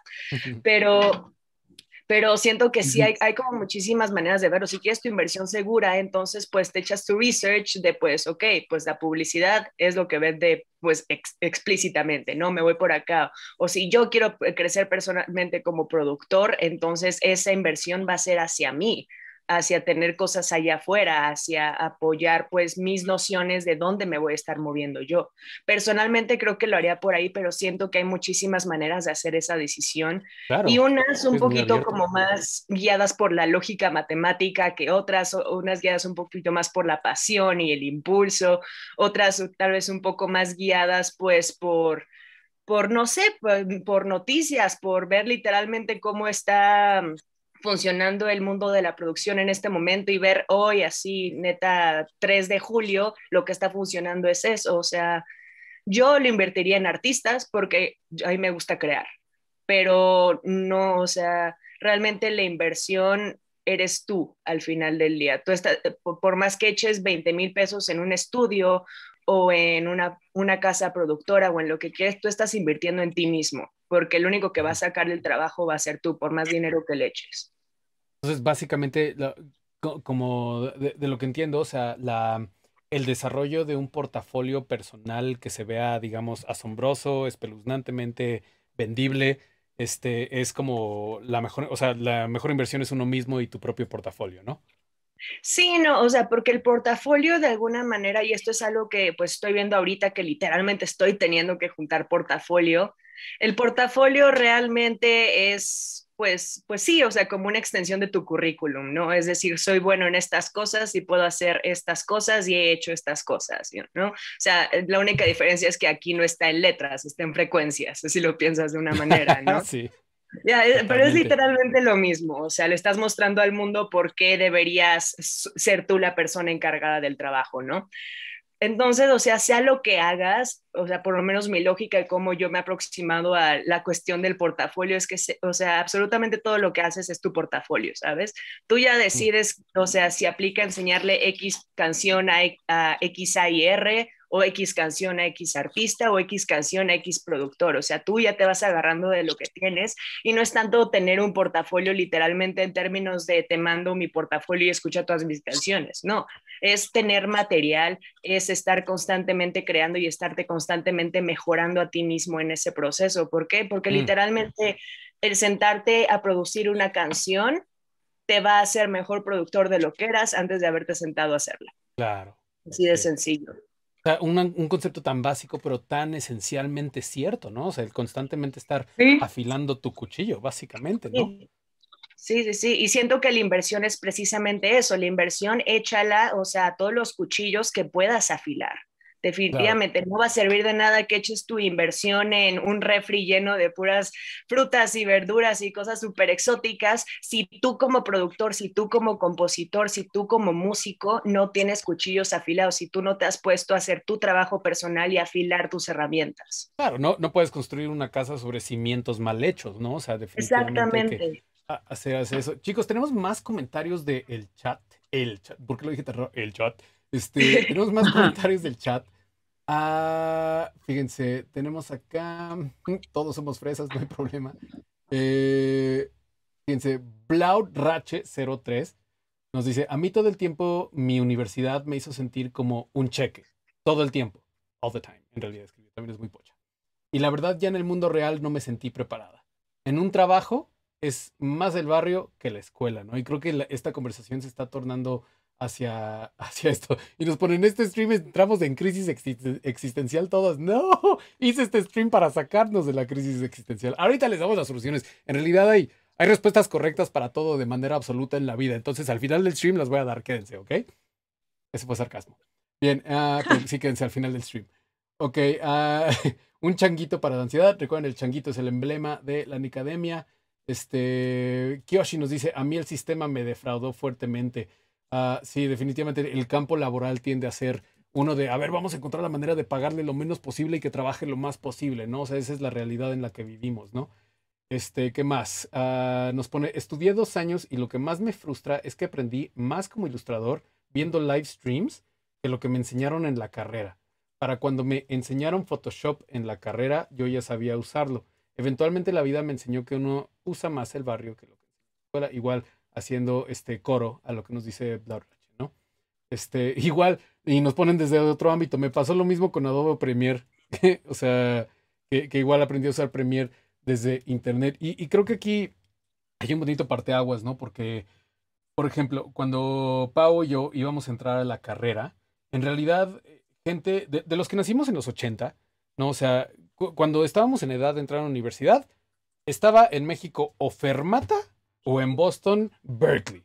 Y eran tus opciones, o sea, así como, como o te quedas en México en Fermata o te vas a Boston. Y, y ahora creo que, uff, o sea, cuánta oferta hoy está Rec Música, está SAE, está Sala de Audio, está el Tech, está la Nahuac hoy en día, ¿no? También dando esta carrera de producción musical.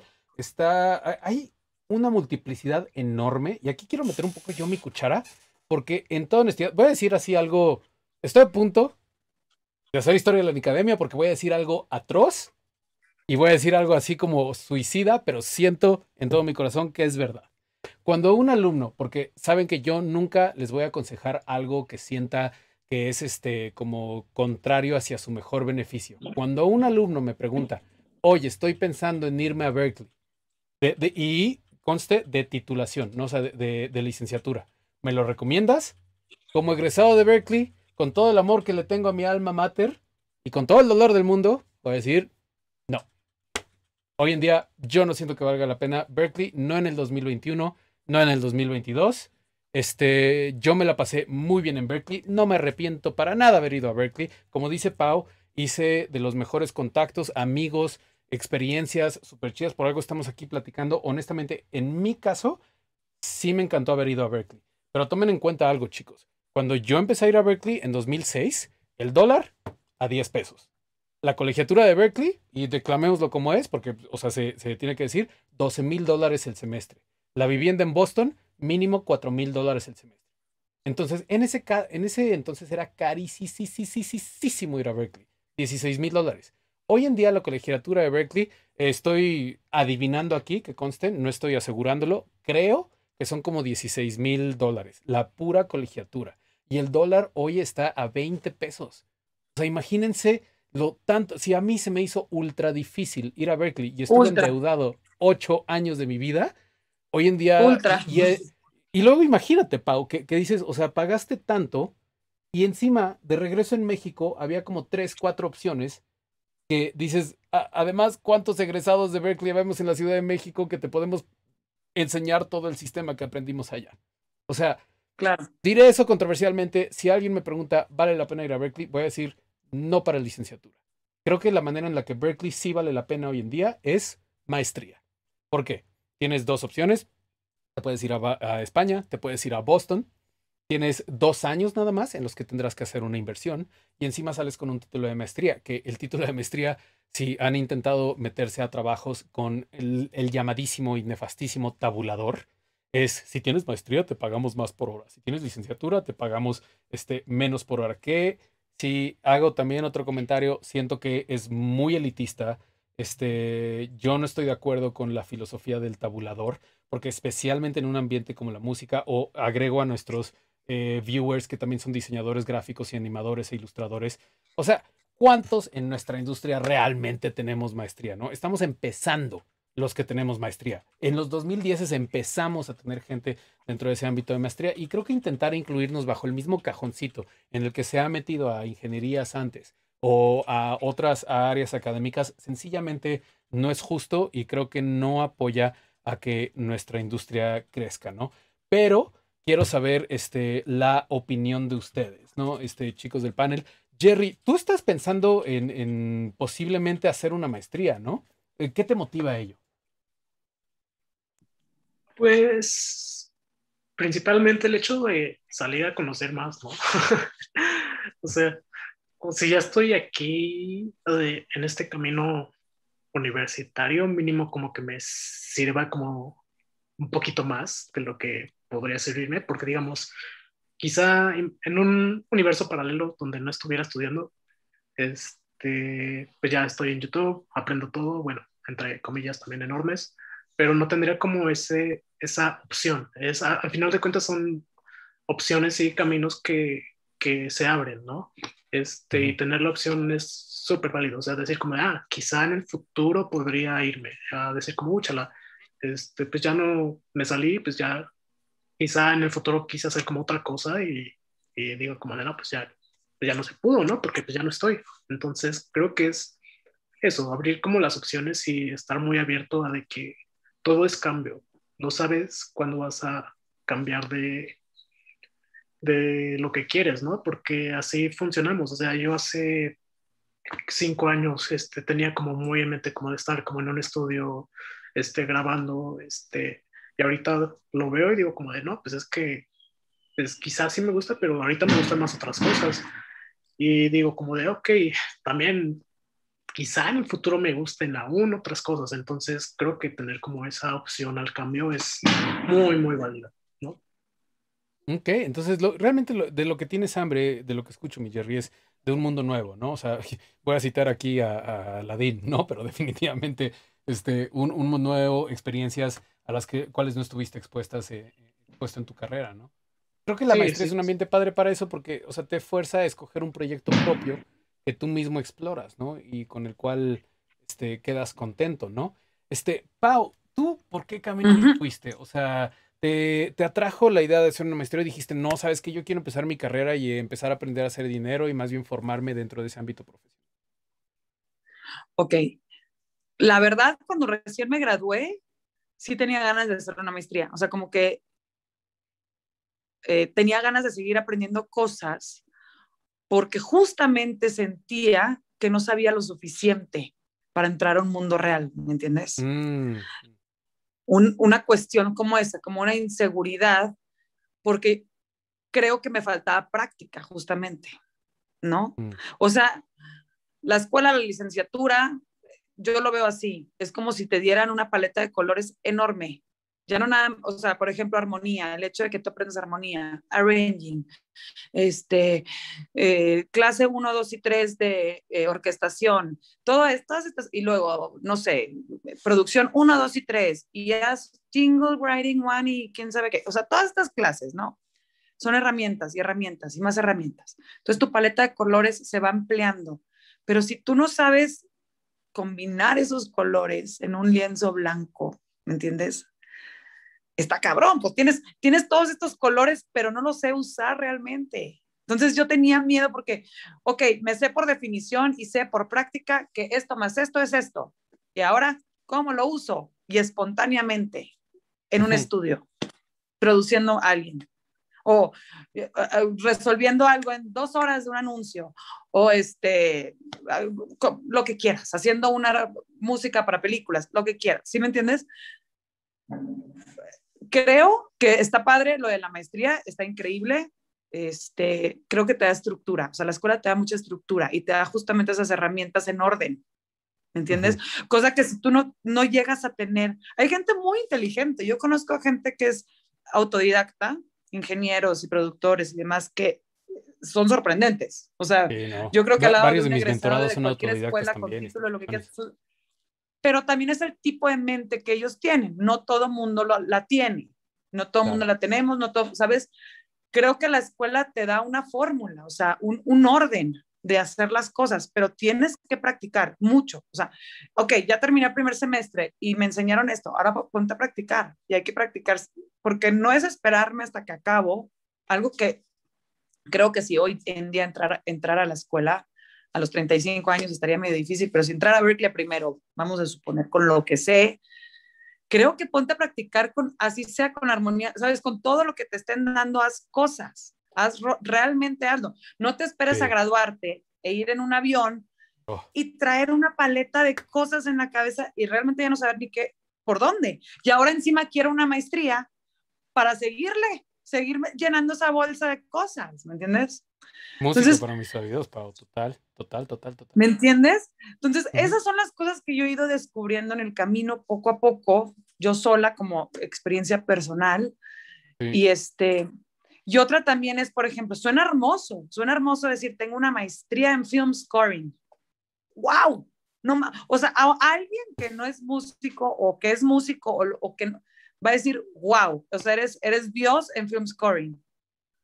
Ajá, pero vuelvo a lo mismo, vas a tener una estructura, pero ahora hacer una película es un camino, ¿me entiendes? O sea, a lo mejor vas a aprender cosas que, que, que, era difícil que un video de YouTube te diera, como microfonear bien una sesión, como llevarlo a cabo, como los cues, que no sé qué, como todas estas cosas. Pero que te haga un film scorer, realmente grabándote. Sí. me entiendes? Sí, no, total, total. Y, y, quiero hacer un poco de contraste contigo porque aquí voy a meter de mi cuchara, Pau, yo de nuestra generación, de los de Berkeley de 2009, fui de los pocos, muy, muy, muy pocos, que ya tenía un trabajo asegurado antes de graduarme. O sea, porque a mí, como dices, eh, o sea, me reflejo mucho con lo que dices, porque me entró el pánico bien cañón.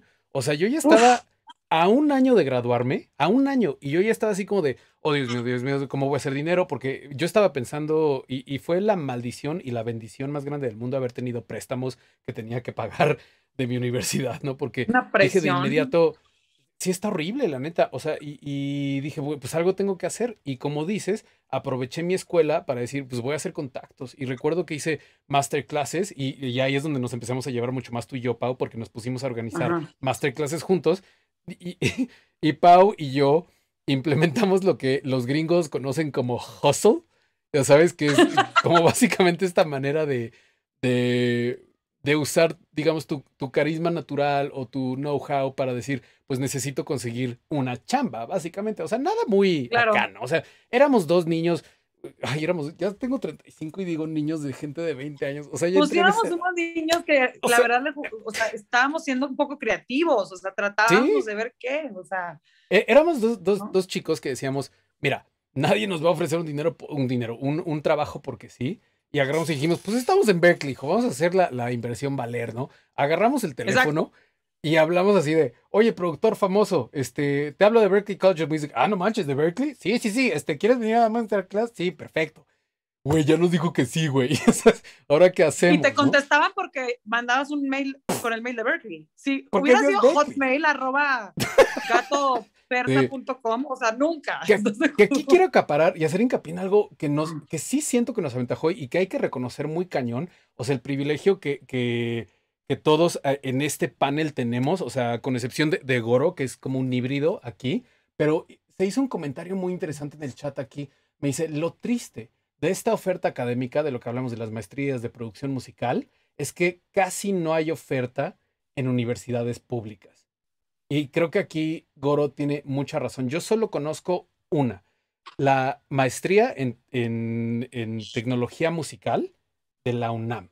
De la Facultad de Música, ¿no? Y es la única que es explícitamente sobre tecnología musical y la Facultad de Música tiene como que este modelo, siento, en mi opinión, un tanto más arcaico, más orientado hacia la ejecución y, y nada más ser instrumentista y que realmente no te prepara como lo haría este, una licenciatura un tanto más, este, lo, voy a decir como es, ¿no? Más mercadeable, como lo que ofrecen las, las instituciones privadas, ¿no? Que siempre te tratan así como de, la industria de la música es lo moderno, es lo de hoy, puedes hacer mucho dinero, ¿no? Industrias creativas es lo nuevo, ¿no? Entonces, si hay una discrepancia muy grande y me gusta que Goro este, que saque este tema, porque sí hay, hay, es un mundo muy diferente egresar de una universidad pública que de una privada. O sea, y creo que tú y yo, Pau, tenemos que reconocer que tuvimos un privilegio gigantesco en poder agarrar, levantar el teléfono y decir, oye, te hablo de Berkeley, ven a dar no, no, claro, ¿cómo? Y, y, el mono viene, ya sabes, este, y dice, ay, gracias, no sé qué, y tú consigues, y, y es más, a nosotros como chavillos, o sea, la, la lana la sacamos de, me acuerdo era la oficina de Multicultural Affairs, de Student Affairs, o sea, de, de todo lo que ser ¿Te acuerdas de wellness? Y wellness. Y todo porque estas personas en estos roles administrativos de la escuela están diciendo, ah, estos chavitos nos están haciendo el trabajo, básicamente. O sea, están trayendo a alguien de una escena multicultural y así, y ellos ganaban, nosotros ganábamos, pero aquí, honestamente, para entrar en este club que nos permitía hacer esto, obviamente se necesita una lana gigantesca, ¿no? Este. Claro. Y acá, uh, fíjense, otra pregunta, ¿no? ¿Qué hago si quiero estudiar una carrera como producción musical que no existe más que en escuelas privadas y no tengo el dinero. Y le contesta, le contestan Berlin Academia, obviamente, ¿no? Estoy de acuerdo. Este, y como egresado de Berkeley, debo admitir, sí, o sea, parte de mi campaña es que la gente no se tenga que endeudar como yo me endeudé para obtener esa carrera de ensueño que, que ellos están este, pensando, ¿no? Ok, muy bien. Este, y Lisa te contesta, Pau, la historia de mi vida, Pau, debería estudiar más porque no me siento lista. Entonces, acá... Esa sí es mi recomendación académicamente, de verdad. Qué frustración. Y esa sí es mi recomendación. O sea, wow, sí, sí, sí lo tienes que aplicar. O sea, sí lo tienes que aplicar. Yo, no, yo creo que medicina y en otras carreras, mira, yo no sé. Pero en esta, si sales con un... Ahora resulta que soy productora, ya sabes, y tengo un portafolio con dos rolas medio peluqueras. O sea, y, y, y sé armonía 1, 2 y 3, o sea, y no sabes ni qué, o sea, tienes información y no sabes ni, entonces, sí, todo te funciona, todo funciona y todo es un crecimiento, pero todo hay que saberlo aplicar, Hay que saber utilizar esos colores y hay colores que a lo mejor no vamos a ocupar, pero saber que no los vamos a ocupar. O sea, ¿Me entiendes? A mí mi primer mentor, este, este Casey Pau, alguna vez me puso la mano en el hombro y me dijo, dude, no solo porque lo sepas hacer, quiere decir que lo tienes que hacer. ¿Ok? Así como, oh, perdón, yo entendí, ya sabes. O sea, y, y, y, aquí eh, voy a cortar de nuevo a Carla. Este, o sea, Carla, quiero saber tu opinión, porque nosotros ya hemos estado hablando de, ay, pues así me fue y así aprendí y esto es el tropiezo que me di y todo este rollo, y siento que te estamos generando un pánico existencial horrible que espero que no. Este, y, y más, no, y, no, digo, no, y saco, saco de esto a Jerry, porque Jerry pues dijo, mira, la escuela no me va a enseñar todo, yo voy a hacer lana por mi lado por acá, que siento que fue como muy inteligente por parte de Jerry, como realmente reconocer, no sé siquiera si la universidad todavía me conviene, porque ya encontré un lugar donde hago dinero y eso es realmente lo que venía, ¿no? Ahora, tú, ¿cómo te sientes? Platícanos tú que estás en esa intersección, Carla. ¿Cómo te sientes con todo esto? ¿Te identificas con lo que dice Pau de, bueno, sé un chingo de cosas, pero ahora realmente qué hago? ¿O te identificas con mi pánico de ya tengo que saber qué pedo antes de salir de la escuela? ¿Tú, tú, tú qué opinas? Es un poco de todo también porque he salteado de un lado a otro desde que salí de prepa, básicamente. O sea, yo cuando estaba a punto de salir de la prepa dije, no quiero ir a la universidad, no quiero estudiar nada, nada me gusta, no quiero seguir yendo a la escuela solo por ir a la escuela. Obviamente es una idea que a mis papás no les pareció en, el en absoluto, yo creo que les dije y, y, fue la única vez que ese tema se tocó. Um, y, y, de hecho estaba a punto de entrar a IMI, este, a, a graduarme de, Ajá, de, de, prueba, porque justamente fue como, ok, estoy en la prepa del TEC, o sea, ya tengo el pase directo a profesional, y pues aquí hay una carrera en música, yo ya sé que pues, o sea, ninguna carrera en específico me llama la atención, o sea, tengo que hacer algo, entonces, bueno, vamos a ver qué onda con esto, ¿no? Entonces, por ahí más o menos fue como un poco tu lado como de la para, no paranoia como tal, porque no era como tan fuerte, apenas estaba saliendo de prepa, apenas estaba cumpliendo 18 años, ¿no? No, no, no sientes las cosas o la presión tan fuerte en ese momento todavía pero sí era como la premisa de, bueno, ok, voy a entrar a estudiar porque pues tengo que hacer algo, ¿no? Y después fue como justamente lo que hemos estado platicando un poquito, de que no, ¿por qué voy a estudiar producción musical en el TEC? Tengo dos materias de música y yo sé que voy a ser miserable en las otras 40, entonces no, esto es un error, no voy a hacer eso. Fue por lo que me fui a literatura, que pues a literatura no te vas si quieres hacer dinero. Eso es un, hecho, te vas a dedicar probablemente a la academia. Y eso, de nuevo, es algo que pues yo aprendí a la mala estando en la carrera. Y de ahí nada de acabar, ¿no? En literatura. Sí, sí, sí, o sea, me faltaba nadita, pero dije, yo no, o sea, yo no quiero vivir de la academia, yo no quiero ser únicamente maestra de literatura, que, o sea, aquí hago el disclaimer, me encantaría ser maestra de literatura, pero no quiero que mis opciones se limiten a hacer eso, ¿no? Eh, mm. fue cuando ocurrió como el cambio de carrera también, o sea, porque pues yo en un inicio, o sea, amo la música, fan de la música, yo tengo la premisa de que quiero ser artista desde pues muy, muy joven, pero no, no tenía como la idea de que la música realmente era una carrera, no como la tengo ahora, no como lo estamos discutiendo durante esta plática, ¿no?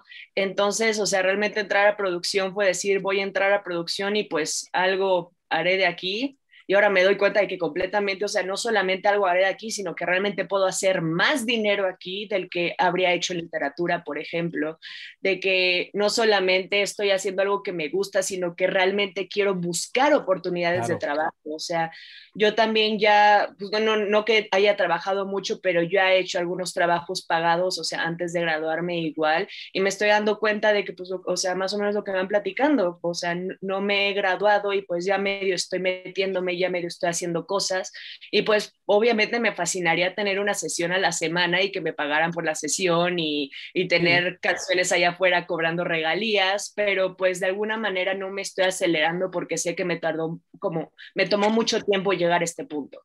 Me tomó más tiempo de mucha gente, de que muchos mis compañeros, pues yo era de las personas más grandes de mi generación, por obvias razones. Entonces, como que el hecho de que fuera más lento hizo que me diera cuenta de que no puedo acelerar las cosas, no me puedo meter la presión de es que tengo que saber ya o tengo que hacer dinero ya. ¿Por qué? Porque ya lo había vivido eso en Libero y no quería que mi, que mi experiencia en música fuera la misma que mi experiencia en oh. literatura. Así, así de sencillo. Y, me agrada mucho hacia dónde te estás yendo. Te digo, me, encanta cómo hablas, hablas precioso. Y aquí creo que alguien en el chat te está haciendo eco justo de lo que acabas de decir, que no querías que se volviera esa experiencia que tuviste en la Ibero de nuevo. Porque checa, nuestro, mi cadete Frank Sinantrax nos dice, me llama mucho la atención que se esté enfocando todo al hacer dinero. Si alguna vez estudiase producción, o sea, si, si Frank alguna vez estudiase producción, sería por el simple hecho de aprender.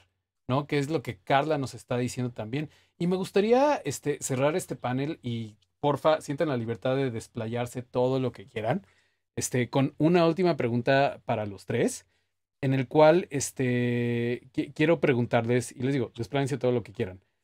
¿Qué sienten que fue como, enumérenme lo más, yo acá de profesor, enumérenme, ¿no? Pero díganme lo más padre de haber estudiado donde estudiaron, o sea, en REC, en el TEC, en, en, Berkeley, ¿no? O sea, lo que dices, no manches, esto no lo cambiaría por nada, fue como emocionalmente impactante para mí o fue una experiencia que me enseñó muchísimo, que me hizo cambiar o crecer como persona, lo que ustedes quieran, o sea, la cosa o las cosas, si quieren, en plural, más positivas de haber estudiado en la universidad en la que estudiaron, o sea, ¿por qué sí? Y también me gustaría que nos balancearan la opinión con, pero bueno, si le pudiera alterar algo, si lo pudiera mejorar, creo que mi, mi universidad igual y podría irse por este camino, ¿no? O sea, ¿qué, ¿qué, les gustaría que mejorara de su experiencia universitaria, ¿no? Este, y pues me gustaría, eh, empezamos contigo, Jerry, platícanos. Sí, em, a ver, creo que ya lo había mencionado, quizá de las mejores cosas que me llevo es las personas que puedes conocer completamente porque aparte de que son conexiones, o sea, son buenas amistades y eso no se cambia por nada, ¿no? Este, a veces puede ser muy solitario como este, este camino de la producción musical o, ¿sabes qué? Muy egocentrista, por así decirlo. O sea, hay Oh, sí, muchísima... Cualquier industria creativa, sí. Sí, sí, sí, completamente. Hay muchísima competencia, ¿no? Este, como ese ego, como de, ah, no, pues es que quiero ser mejor que el de allá, ¿no? Y mejor que el de allá del de allá, ¿no? Entonces, a veces necesitas como ese acercamiento a las personas, como de, ah, es que también tienes sentimientos, ¿no? Entonces, Sí. este, primero eso, eso es invalorable. Eh, pero bueno, también está la otra parte de que eh, siento como que en esta industria eh, está muy, muy, muy como de la mano a, te, te van a buscar si te conocen. O sea, es más fácil que uno de tus amigos le recomienda a uno de sus amigos que diga como de, ah, pues es que conozco este, este man que hace música. Así me ha pasado de mis últimas tres producciones que ni siquiera han sido como de personas como de, de, de IMI, ¿no? O sea, este, literal, ha sido como de, ah, no, pues es que una amiga que est- estaba en, en prepa, o sea, digo, ya, ya la prepa, ¿no? Pero aplica, que su novio necesitaba, este, eh, un productor porque hacía su música y le dijo, ah, no, pues es que yo conozco a este, a este man, ¿no?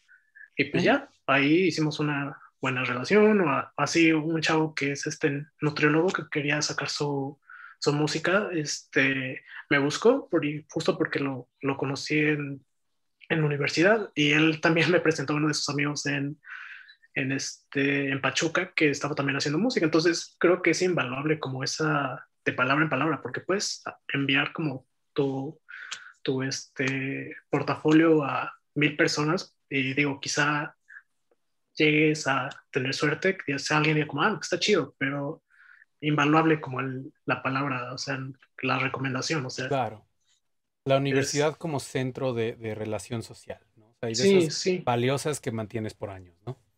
sí, sí, com- completa, completamente. Y eso creo que es algo que no te da el internet, ¿no? Ver este, cómo microfonean una batería en YouTube, ¿no? Este, Cla- Claro, exacto, no puedes. Sí, te entiendo, te entiendo perfecto. Sí. Sí, este, la otra cosa quizás sería las instalaciones, o sea, Mm. tener como acceso como a millones de pesos que puedes usar a tu gusto. A veces, digo, en especial como en el TEC, muchas veces estaban vacíos, o sea, los estudios, justo porque estaban haciendo sus clases, ¿no? Algo que debería haber estado haciendo. pero, pero sí, muchas veces estaba vacío y pues me la bebí ahí, o sea, tenía la oportunidad de escuchar qué, a qué suena, ¿no? Porque a veces está como, ah, no, pues están los plugins, ¿no? Que emulan este, una SSL, ¿no? Este, o los plugins del Pultec, y es como de, ¿ya qué suena uno de verdad, ¿no? O sea, tener Claro, como sí, ese acercamiento y tener como ese, ese, esa escucha crítica, decir como de, ¿sabes qué? Esto sí suena bien. O ¿sabes qué? ¿Qué suena bien? O sea, al final de cuentas, o sea, ¿cómo, cómo, cómo sé lo que, me, que estoy viendo en YouTube que está bien, ¿no? O sea, quizá te lo dicen con mucha Mm. seguridad y le crees. O sea, también Como que, hay... que te hubiera gustado que te orientaran hacia cómo discernir esa confianza en tu propio sonido. Sí, sí, sí, sí, claro, claro. Este, porque es bien importante como saber eso y también este, justo, eh, digo, creo que esto ya es de la parte mala, como no tener como esta barrera como de, esto está bien, o sea, está la parte buena, como decir como de, ok, así suena algo bien, pero también está la parte mal que te dicen como de, solo esto está bien, ¿no? o sea, como... Sí. Sí, porque muchas veces es como muy subjetivo a lo que los profesores se les hace bien y eso no está bien, ¿no? Porque al final de cuentas todos Sí, no. tienen como una mente diferente y es súper este, subjetivo como este, este mundo. Sí. Eh, quizá eso cambiaría. Y digo, en particular de, de mi carrera que ya no existe, pues toda la parte ingenieril, digo que también podría ser una ventaja porque es lo mismo, te da, te abre un poquito más las puertas, ¿no? Entonces, creo que al final este, de cuentas es como saber como qué quieres y saber qué te va a servir y saber qué no, pero al mismo tiempo saber qué ¿qué más necesitas hacer? Porque siempre, nunca, nunca vas a quedar satisfecho. Siempre va a haber algo que necesites hacer más, ¿no? Entonces, mm. yo me quedaría con, con algo así. Perfecto, no, pues muchas gracias, Jerry. Este, muy, nos informas bastante y, de manera muy balanceada, siento, ¿no? Creo que conjuntas muy bien lo que es este individual y lo que es colectivo en la experiencia universitaria. Ok, y Carla, platícanos tú, en el caso de Rec Música, ¿qué te encantó? ¿Qué dijiste? Eh, esto es un área de oportunidad. Pero creo que una de las cosas que más me gustó y es como pues personalizado a mi caso, literalmente, es el hecho de que como no fue mi primera experiencia universitaria, supe de dónde sacarle más provecho ya no llegaba preocupándome que si voy a reprobar el examen, porque pues ya sé que un examen al final del día solamente es un número y no necesariamente refleja lo que yo sé.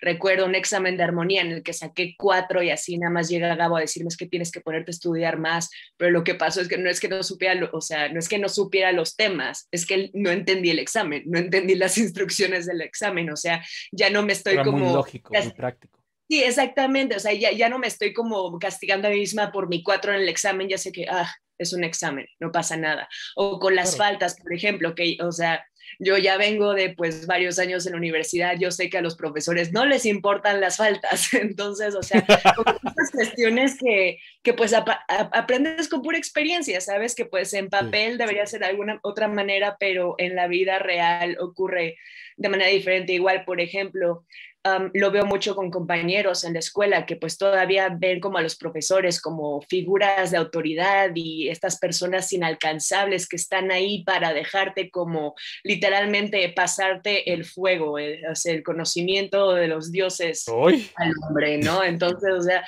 pero no, todo lo contrario, o sea, yo llegué a Rex sabiendo que, Nico, eres mi homie, estamos aquí platicando un sábado de la noche, y ¿no? O sea, y, abiertamente digo, o sea, ¿cuántas veces no cheleamos en los breaks, Carla, no? Sí, exactamente. Entonces, o sea, número dos, llegué pues ya sabiendo que la gente que está ahí en la universidad formando parte de la comunidad es exactamente igual que yo. El hecho de que ya se hayan graduado, el hecho de que sean más grandes y ya lleven rato ejerciendo, no significa que los tengo que poder en un pedestal, no significa que son inalcanzables, no significa que tengo que dibujar una línea entre yo como estudiante y la persona como profesor, sino todo lo contrario, me voy a agarrar de los profesores, me voy a agarrar de los maestros de instrumentos, me voy a agarrar de mis compañeros que ya saben más. Entonces, por este lado es una cosa que, que siento que pude aprovechar muchísimo más que otros de mis compañeros que venían con la idea de, es que universidad, es que college, es que academia. Y pues no, o sea, yo llegué con una actitud que pues fue distinta a la actitud que tenía cuando llegué a Libero el primer día.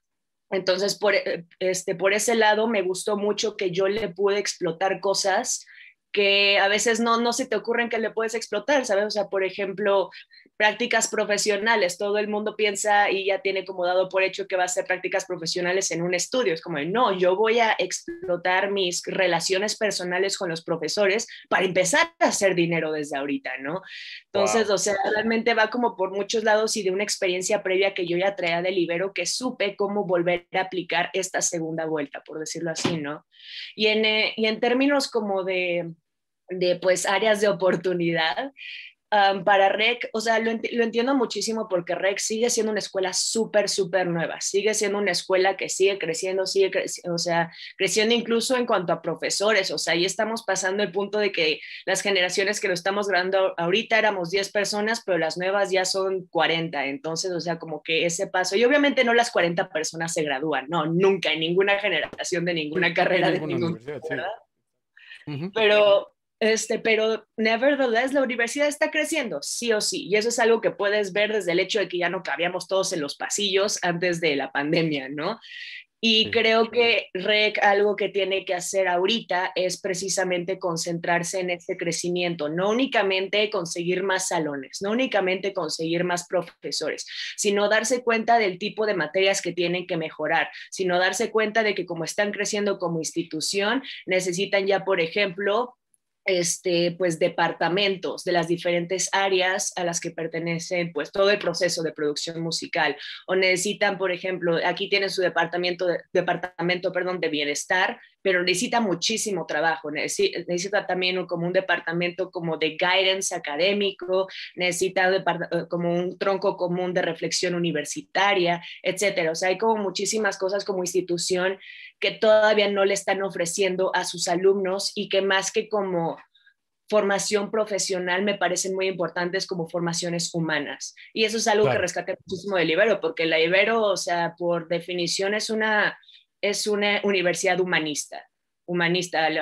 O sea, la Ibero, pues te vas a, carreras como literatura, como comunicación, como historia del arte, etcétera. Obviamente tienen muchísimas carreras, hay muchísimo de dónde agarrarle, pero Libera honestamente sus fuertes son estos. Entonces llegar a REC y darme cuenta de que no existe nada de este estilo, me pareció justamente que es un área de oportunidad enorme y que me habría gustado a mí vivir, definitivamente me habría gustado que mientras yo estuve estudiando en REC hubiera tenido más materias de reflexión, hubiera tenido mejores materias de apreciación y crítica musical, por ejemplo, mm, pero simultáneamente no se me hizo como una pérdida tan grande, número uno, porque este es un background que yo ya traía, sea, más bien lo veo como una pérdida para los demás, por decirlo así. O sea, que yo me doy cuenta de que están saliendo de una carrera en música sin tener realmente una capacidad crítica musical, sin tener realmente una capacidad de reflexión y, y análisis de cómo, de dónde viene la música, de por qué es importante para la psicología humana, para, para todo el aspecto que no tiene que ver con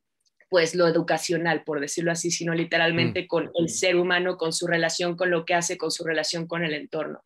Esto es algo que creo que le falta todavía a REC y de, alguna manera me da gusto que ya estoy a punto de graduarme porque esto es algo definitivamente que voy a pelear, entre comillas, en el momento en el que deje de ser alumna. Si es llegar con, con los dueños de REC y decirles, sé que están en un proceso de cambio, sé que están en un proceso de crecimiento, pero yo, o sea, como un punto un poco más objetivo entre una, un centro de estudios musicales y una universidad como tal, necesitan hacerse estas cosas, por decirlo así. Muy buen punto.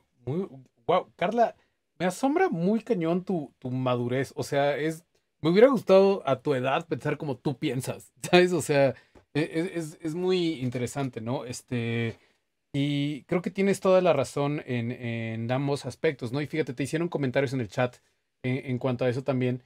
Eso que dice Carla sobre las diferencias de edad me parece muy valioso. Todos podemos aprender de todos, ¿no? Este, y aquí estamos ustedes dos y yo, ¿no? O sea, para representar eso también. Ah, también dicen, me hubiera gustado tener esa perspectiva durante la carrera. Y aquí eh, hago una aportación de otra amiga mía, Natasha Arguete, que ha estado varias veces de invitada en la Academia, que ella dijo, mira, yo entré a Berkeley como a los 17, 18, no sé, súper chiquita a esa edad no siento que haya aprovechado Berkeley lo suficiente. Estaba muy chica, ¿no?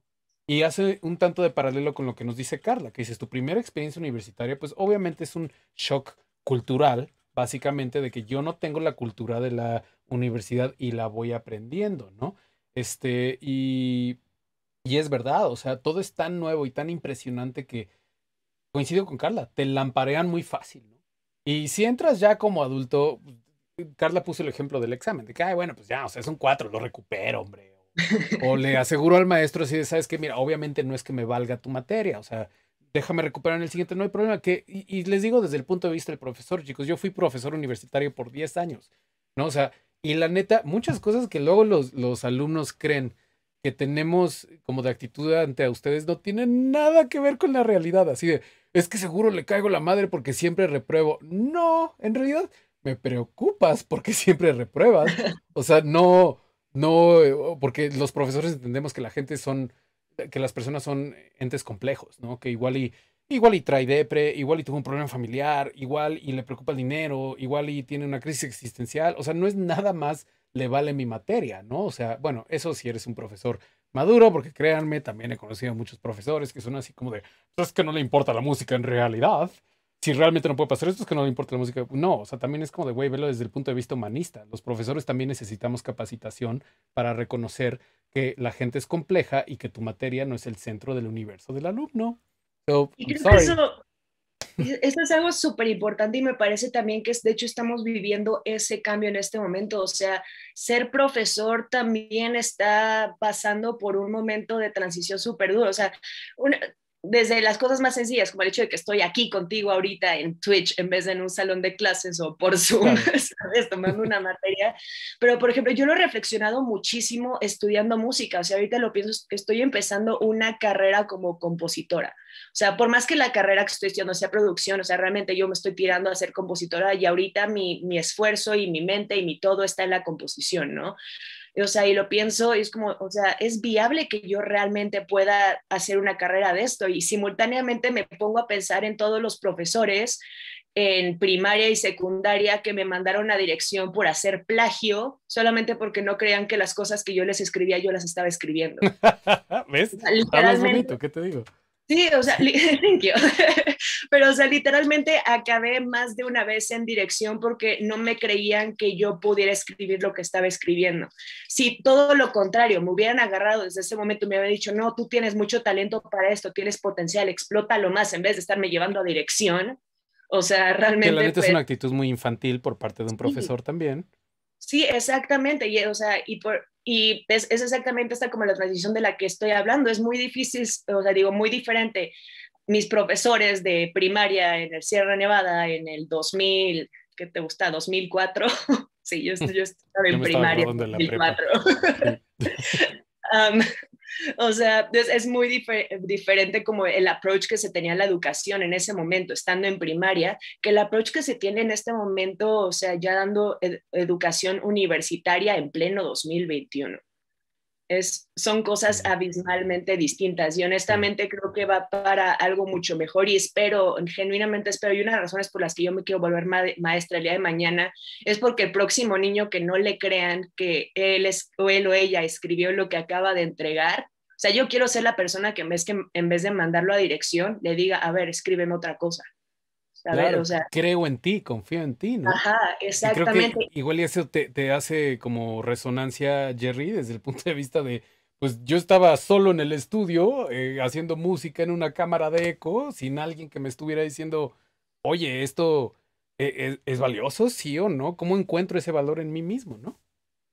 Sí, la, la libertad de, de, expresión, al final de cuentas. O sea, y tiene, Carla tiene completamente la razón porque digo, quizá no viéndolo como desde el lado malo, pero desde el lado bueno, como que tu profesor, digo, ahorita estoy hablando de técnico, recuerdo que, recuerdo que en prepa, en el tópico de, de prepa, o sea, en un, en un ejercicio cualquiera, dijiste, ah, esto está interesante, ¿no? O sea, si en ese momento hubieras dicho como, ah, no, pues es que esto está horrible por esto, por esto, por esto, o sea, me hubiera desmotivado, quizá ahorita sería un godino, no sé, o sea, creo que está, mm. es, sí influye mucho a veces como, como que alguien vea como el potencial y diga como de, ok, es que esta persona eh, tiene, tiene esto, quizá no este, es tan bueno en estas cosas o quizá no es tan bueno en, mi materia o lo que sea, pero al final de cuentas tiene sus propios intereses, tiene su propio mundo, porque, o sea, también justo en este, en todos estos años que he llevado en el TEC, he tenido de mm, muchos profesores, o sea, como de los que se acercan a ti y te dicen como, oye, porque te digo, he tenido como muchas faltas y así. Se acerca, hay pocos que, que llegaron a mí diciendo, oye, todo está bien. O sea, muchos solo pasaban y, y desaparecían, pero es súper reconfortante, es, te, te, llena como saber como que a la otra persona le, le interesas, porque al final de cuentas, pues, te, somos personas, ¿no? y, al final sentimos. Por eso aquí estamos, Jerry, ¿no? O sea, les digo, ustedes empezaron como mis alumnos, pero honestamente, el lapso en el que ustedes fueron mis alumnos es este cachito de su vida, ya sabes. Bienvenidos a su carrera, porque el resto de este tramo vamos a ser colegas, y eso es lo que de verdad importa, ¿no? Entonces, pues, chicos, eh, realmente es un honor para mí poder contarlos entre mis colegas, y es más todavía un honor que hayan tomado un par de horas de su día en haber venido a platicar conmigo en la Nicademia. Yo creo que los Nicadetes están muy nutridos desde sus puntos de vista y pues eh, vamos a hacer unos buenos TikToks con esto, ¿no? De recomendaciones sobre la universidad y cómo llevarte a cabo, haciendo hincapié en que podemos entre todos mejorar la experiencia universitaria y expectativas de carrera que todo el mundo puede llevar. Así que chicos, en serio, les agradezco mucho no solamente haber venido a la Academia, sino que tengan la confianza en mí de venir a platicar y de apoyar este proyecto que Goro, Lisa y yo hacemos con muchísimo gusto. No, todo lo contrario, gracias por pues pensar que tenemos algo lo suficientemente interesante para decir como para invitarnos. ¿no? thank you for that. Con mucho gusto. Y pues parece que a Paula perdimos por alguna clase de problema técnico. Este ya no tuvimos su perspectiva en cuanto a Berkeley, pero afortunadamente hay otro egresado de Berkeley aquí que igual les puede dar esa perspectiva. Pero me gustaría hacerlo desde otro espacio, desde el Jardín Zen. Sin más ni más, Chicos, les agradezco mucho su presencia en la Nicademia el día de hoy y pues que no sea la última vez. Saben que en la Nicademia tienen eh, aliados y aquí estamos para lo que necesiten. Thank you, igual. Gracias, Nico. Acá, muchas gracias, chicos, y gracias por enseñarnos lo que no te enseñan en la escuela. vale, bye bye. Bye. Bye. Pero si fueras tan amable de llevarme al jardín Zen, porque ya llegó esa ese momento del día.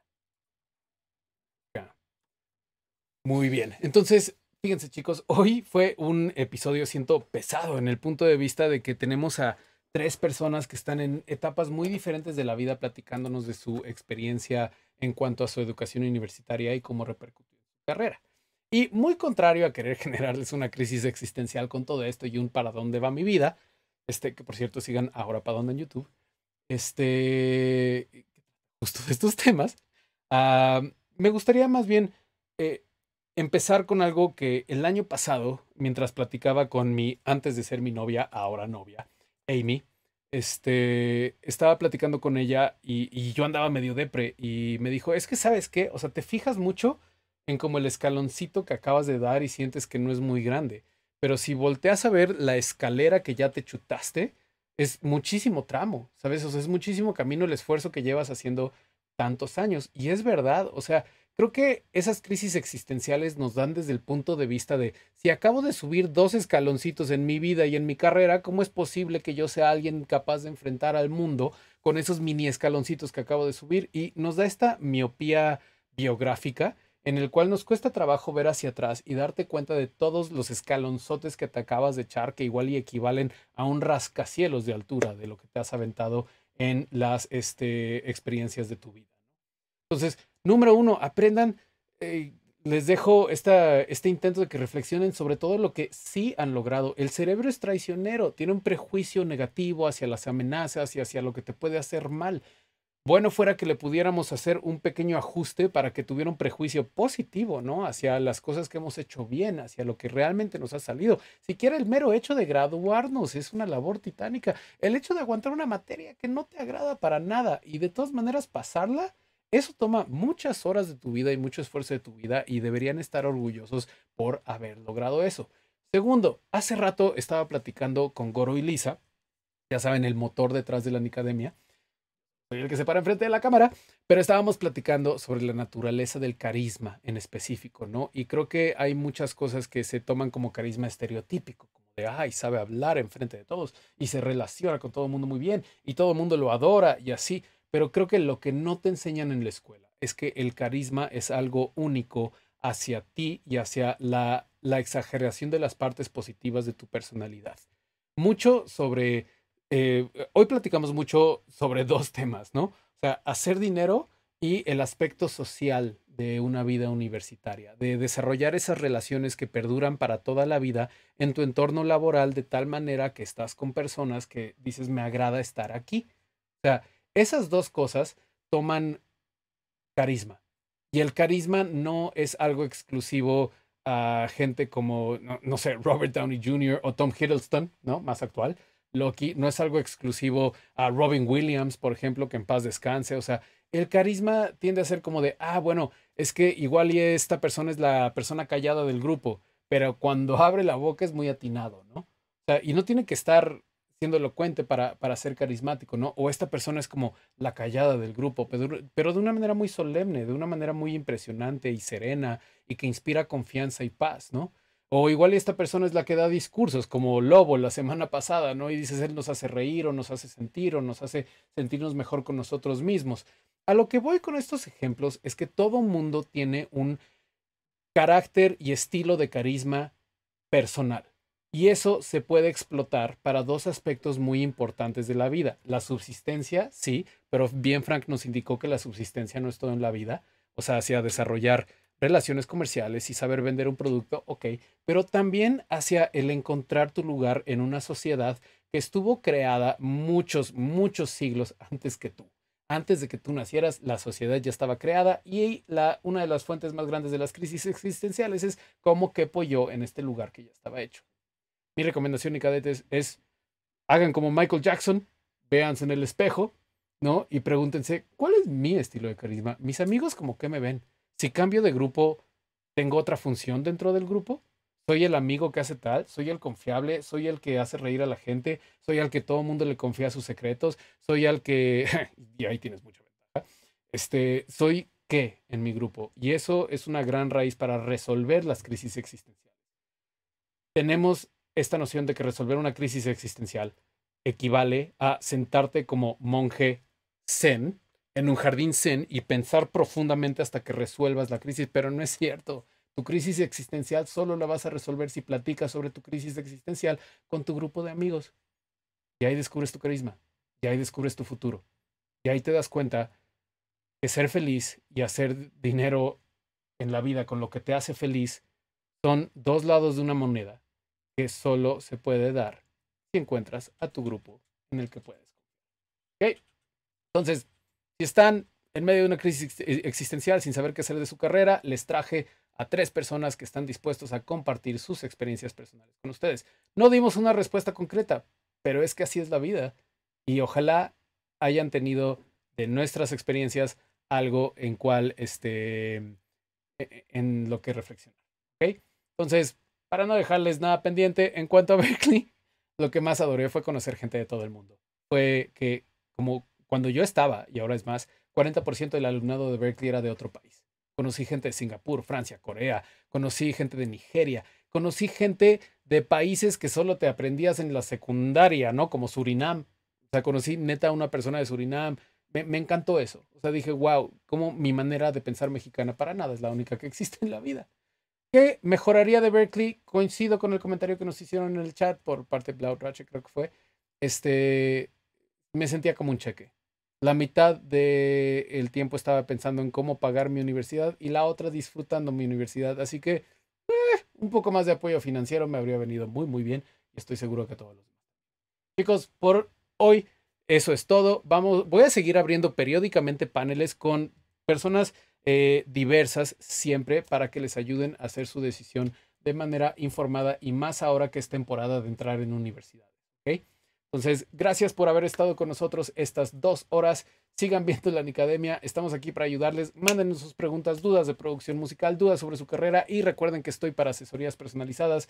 Chequen también el podcast de nuestro productor Goro, Nerd Duo, que sale periódicamente cada semana y habla sobre todo tema geek y nerd como Marvel, la Fórmula 1, que no también.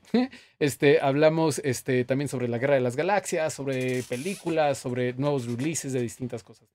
Entonces, chicos, muchas gracias, que estén muy bien y los vemos la próxima semana. Hasta luego.